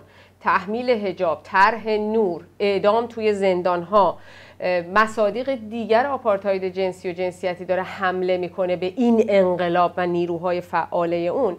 الان چه باید کرد؟ جنبش رنگین کمانی ها فعالین این جنبش چه نقشی می‌تونن ایفا بکنن در شکستن این فضا و پیش بردن انقلاب زن زندگی آزادی؟ مرسی خانم شمس. از اجرای برنامه و این برنامه که ترتیب دادیم من می‌خواستم ابتدای صحبتم از, از شما تشکر ویژه بکنم و کاران برنامه. ببینید انقلاب خیزش انقلابی ژینا شورشی هست در مقابل تسلط و تمرکز قدرت و مرد سالاری. یعنی در مقابل هر نوع کنترل کنترل اکثریت و اقلیت این شورش صورت گرفته. این مبارزه و این سرکشی از طرف قشرهای تحت ستم اتفاق افتاده. من می‌تونم اشاره بکنم به اینکه جامعه LGBT زمانی که این انقلاب اتفاق افتاد فعال بود در زمینه حقوق, حقوق جامعه LGBT اما وقتی که این اتفاق اتفاق از نظری بسیار تلخ از نظری به خاطر کسایی که از دست دادیم از نظری بسیار روشن به خاطر اتفاقی که قرار در آینده بیفته و در مسیرش هستیم این باعث شد که یک اتحادی بین ما شکل بگیره. من به عنوان یک زن بتونم از درد افراد دیگه از خشم و که افراد دیگه تجربه می‌کنن مثل اقلیت های اسنیکی یک زن بلوچ در بلوچستان از محرومیت که تجربه می‌کنه یک زن ترنس در تبریز از محرومیت که تجربه می‌کنه یا یک مرد همجنسگرا در احواز از محرومیت و سرکوبی که تجربه می‌کنه با خبر بشم وقتی که ما حضور داریم هر کدوممون در هویت های مختلفی در جنبش کارگری در جنبش زنان در جنبش دانشجویی وقتی از هویت خودمون تونستیم با قدرت صحبت بکنیم اون موقع اون افراد در اون جنبش هم باید خودشون رو موظف بدونن که از حقوق ما دفاع بکنن و در این مسیر ما بتونیم با هم دیگه پیش بریم. ببینید جمهوری اسلامی در ابتدای جنبش کاری کرد که عقل جان اشاره کردن. در ابتدای جنبش کار کرد که بخواد جنبش رو با حضور جامعه LGBT که داره مبارزه می‌کنه با کنترل بر بدن کنترل بر انتخاب ها کنترل بر نوع زندگی بدنام بکنه. یعنی با نفرت پراکنی علیه جامعه LGBT بخواد دیواری بین جامعه LGBT و مردم ایجاد بکنه. ما نباید بذاریم که این اتفاق بیفته. ما نباید بذاریم اینا پیروز بشن. ما در کنار هم باید باشیم. ما باید این مبارزه رو پیش ببریم اطلاع رسانی بکنیم. آموزش ببینیم آموزش بدیم و باز باشیم نسبت به اینکه بخوایم از همدیگه حمایت بکنیم و در جنبش های مختلف حضور جامعه LGBT رو هم به رسمیت بشناسیم و در مورد حقوق اونها هم صحبت بکنیم. خیلی متشکرم ملیکا زر. نکات بسیار خوبی رو اشاره کردی. ای کاش که وقت بیشتری داشتیم. می‌تونستیم خیلی بیشتر صحبت بکنیم. خیلی صحبت های مهمی هست و می‌تونه توی این دوره از مبارزه خیلی به کار گرفته بشه. اما من اینجا خیلی خیلی کوتاه با توجه به اینکه وقت برنامه رو به پایانه به اطلاعیه تشکل رنگین کمانان ایرانی اشاره داشته باشم که به مناسبت 17 مهر روز جهانی مبارزه با هوموفوبیا منتشر شده تیتر این اطلاعیه هست هوموفوبیا و کویرفوبیا در ایران سیاسی است و مبارزه با آن یعنی مبارزه با جمهوری اسلامی. در بخشی از این اطلاعیه اشاره شده به انقلاب زن زندگی آزادی و گفته شده که انقلاب زن زندگی آزادی با مفاهیم و ارزشهای مدرن انسانی برابری طلبانه و آزادی خواهانه باعث شد که افراد رنگین کمانی در داخل و خارج کشور آغوش خود را به روی این حرکت عظیم و انسانی باز کند و تا به امروز نقش فعال و گسترده‌ای در این انقلاب انسانی و مدرن بازی کنند و دستیابی به مطالبات و خواسته های خود را در گروه همراهی با سایر بخش های جامعه بداند این اطلاعیه با نب هوموفوبیا نب جمهوری اسلامی به امضای تشکل رنگین کمانان ایرانی 26 اردیبهشت 1403 15 مه 2024 منتشر شده که می‌تونید مراجعه بکنید به کانال تلگرام تشکل رنگین کمانان ایرانی و نسخه کامل این اطلاعیه رو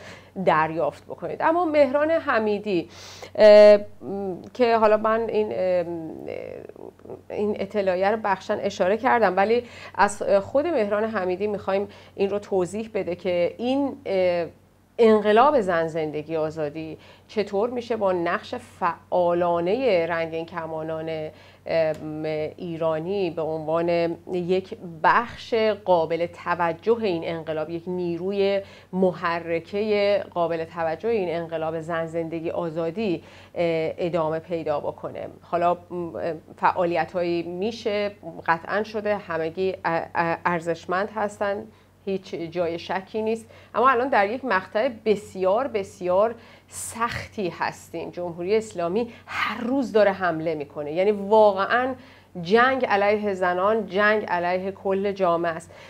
چه نقشی می‌تونن رنگین کمانی ها و فعالینش ایجاد, ایجاد ایفا بکنن برای جلو بردن انقلاب زن زندگی آزادی؟ حالا یک نمونهش همین بیانیه‌ای بود که امروز در این برنامه پوشش دادیم.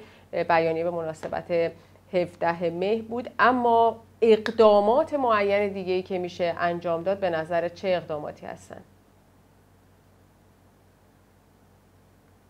درسته. به نظر من قدرت ما در گروه تشکل یابی ما هست.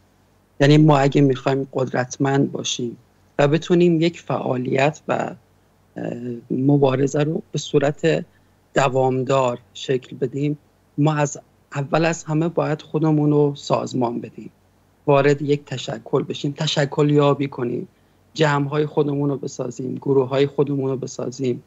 مثلا به صورت نمونه من می‌تونم به شبکه سراسری انقلاب زن زندگی آزادی اشاره کنم که یک مجموعه هست از گروه های محلات شهر روستا دانش آموزی دانشجویی و مانند این.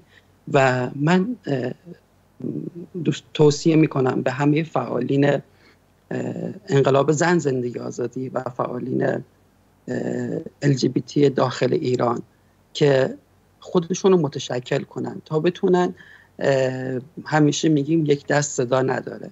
ما باید بتونیم یک مشت متحد بشیم و بزنیم بر دهن جمهوری اسلامی حامیانش و اون تفکر نرمهور مرد سالار مستبد. و دگر جنسگرا محور.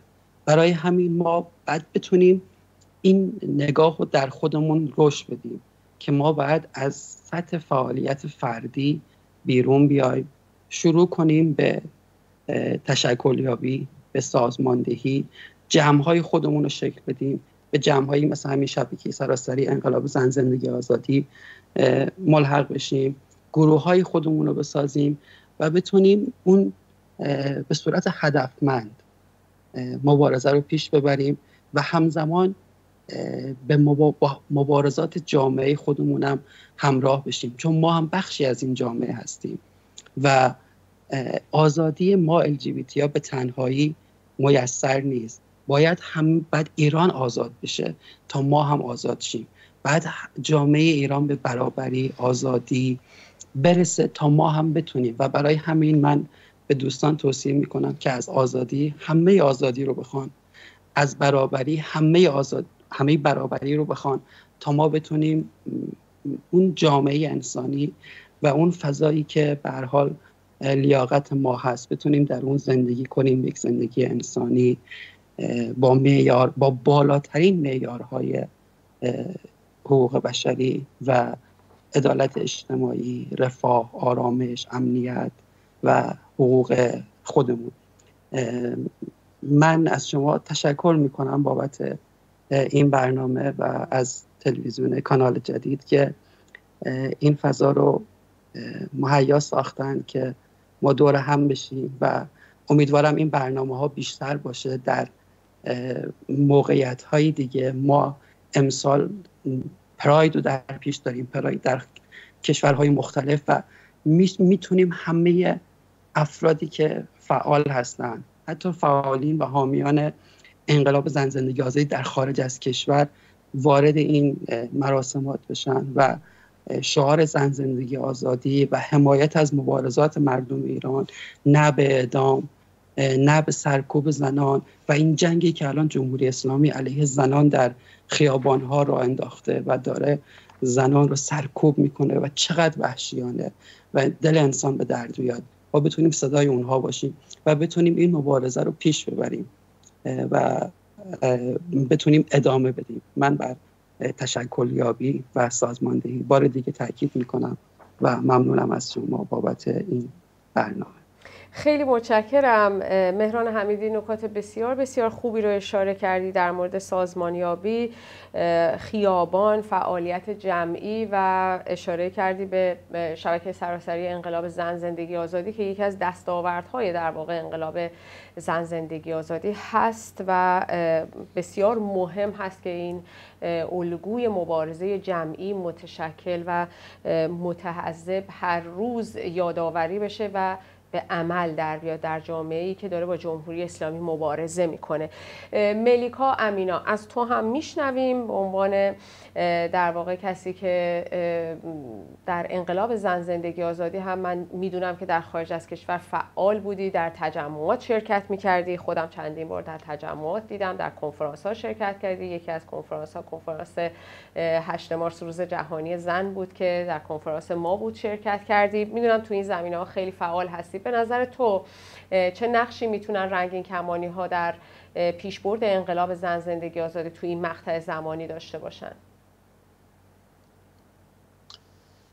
مرسی ممنون از بازگو کردن فعالیت توی برای حقوق رنگین کمانی ها من به نظرم یک نوع وظیفم یک نوع وظیفم رو دارم انجام میدم. یعنی به غیر از این اگه انجام بدم جای تعجب هست.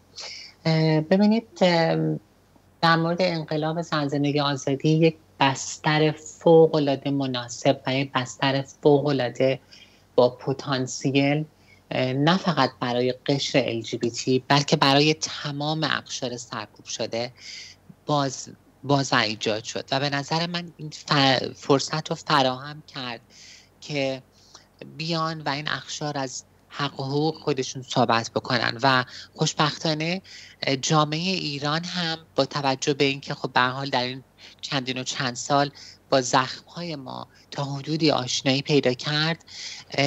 این جرأت رو به بچه های ما داد چه داخل ایران چه خارج از ایران که بتونن پررنگتر و آشکاراتر بیان و در این انقلاب و این تظاهرات ها شرکت کنن و در واقع اونها هم از رنج و درد مشترک و حالا دردهای مضاعفی که دارند صحبت بکنن و در واقع خواستهاشون رو بگن. و این فرصت به نظر من یه فرصت تاریخیه.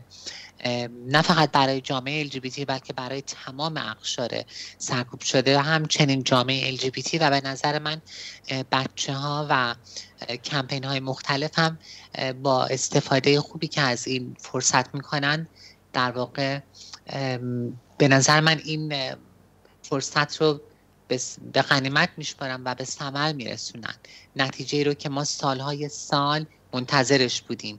و به نظر من تفاوتی که جامعه LGBT خواسته هاش با جوامع و اقلیت های دیگه داره اینه که ما حتی در زمان قبل از انقلاب هم به اون شکل صحبت و حرفی از همون نبود و به اون شکل حمایتی نمی شدیم و به خاطر این در واقع این حساسیت بیشتره که ما باید بیشتر تلاش بکنیم که این آگاهی رسانی رو به هم به ملت و هم به دستندرکاران و هم به به قول معروف جامعه جهانی برسونیم که واقعا جامعه LGBT در چندین و چند جبهه در جنگه. همطور که یکی از دوستان اشاره کردن ما فقط با جمهوری اسلامی درگیر نیستیم. ما با فرهنگ مرد سالاری درگیریم. ما با فرهنگ عرفی که در خانواده ها وجود داره درگیری داریم و متاسفانه اینها همه باعث میشه که مجبور بشیم بیشتر و بیشتر تلاش بکنیم و مجبور بشیم بیشتر و بیشتر بها بدیم.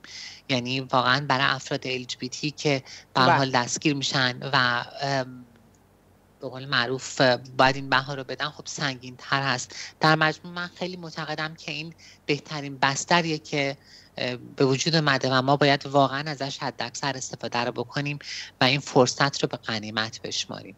مرسی. خیلی متشکرم. خیلی متشکرم. ملیکا امینا نکات بسیار خوبی رو هم تو اشاره کردی. خیلی خیلی برنامه خوبی بود به نظر من با حضور شما فعالان LGBTQ ها که در هر جای دنیا از ایران تا خارج از کشور همه داریم در کنار یکدیگر مبارزه می‌کنیم. صحبت های بسیار خوبی مطرح شد. من اینجا می‌خوام که بینندگان گرامی هم همونطوری که پیام فرستادید voice فرستادید نظرتون رو در رابطه با این صحبت هایی که در این برنامه شد. چه قسمت سخنرانی ها چه قسمت پرسش و پاسخ حتما برای ما بفرستید. از طریق شماره تلفن که روی screen می‌بینید خوشحال میشیم که نظر شما رو بدونیم راجع به صحبت های سخنرانان و شرکت کنندگان این برنامه. من سپاسگزاری می‌کنم از همه شمایی که شرکت کردید تو این برنامه. همچنین شما بینندگان گرامی که همراه ما بودید. همچنین از طرف کیان آذر مدیر تلویزیون کانال جدید که خیلی خیلی تلاش کرد برای این برنامه که دوستان شرکت بکنن برنامه ای باشه که صدای فعالین LGBTQ شناخته بشه و همچنین مدیریت این برنامه رو به عهده داشت. خسته نباشید میگم. به همه شما و همچنین میسم عتیق همکار این برنامه. که همراه ما بود. این رو هم بگم در پایان که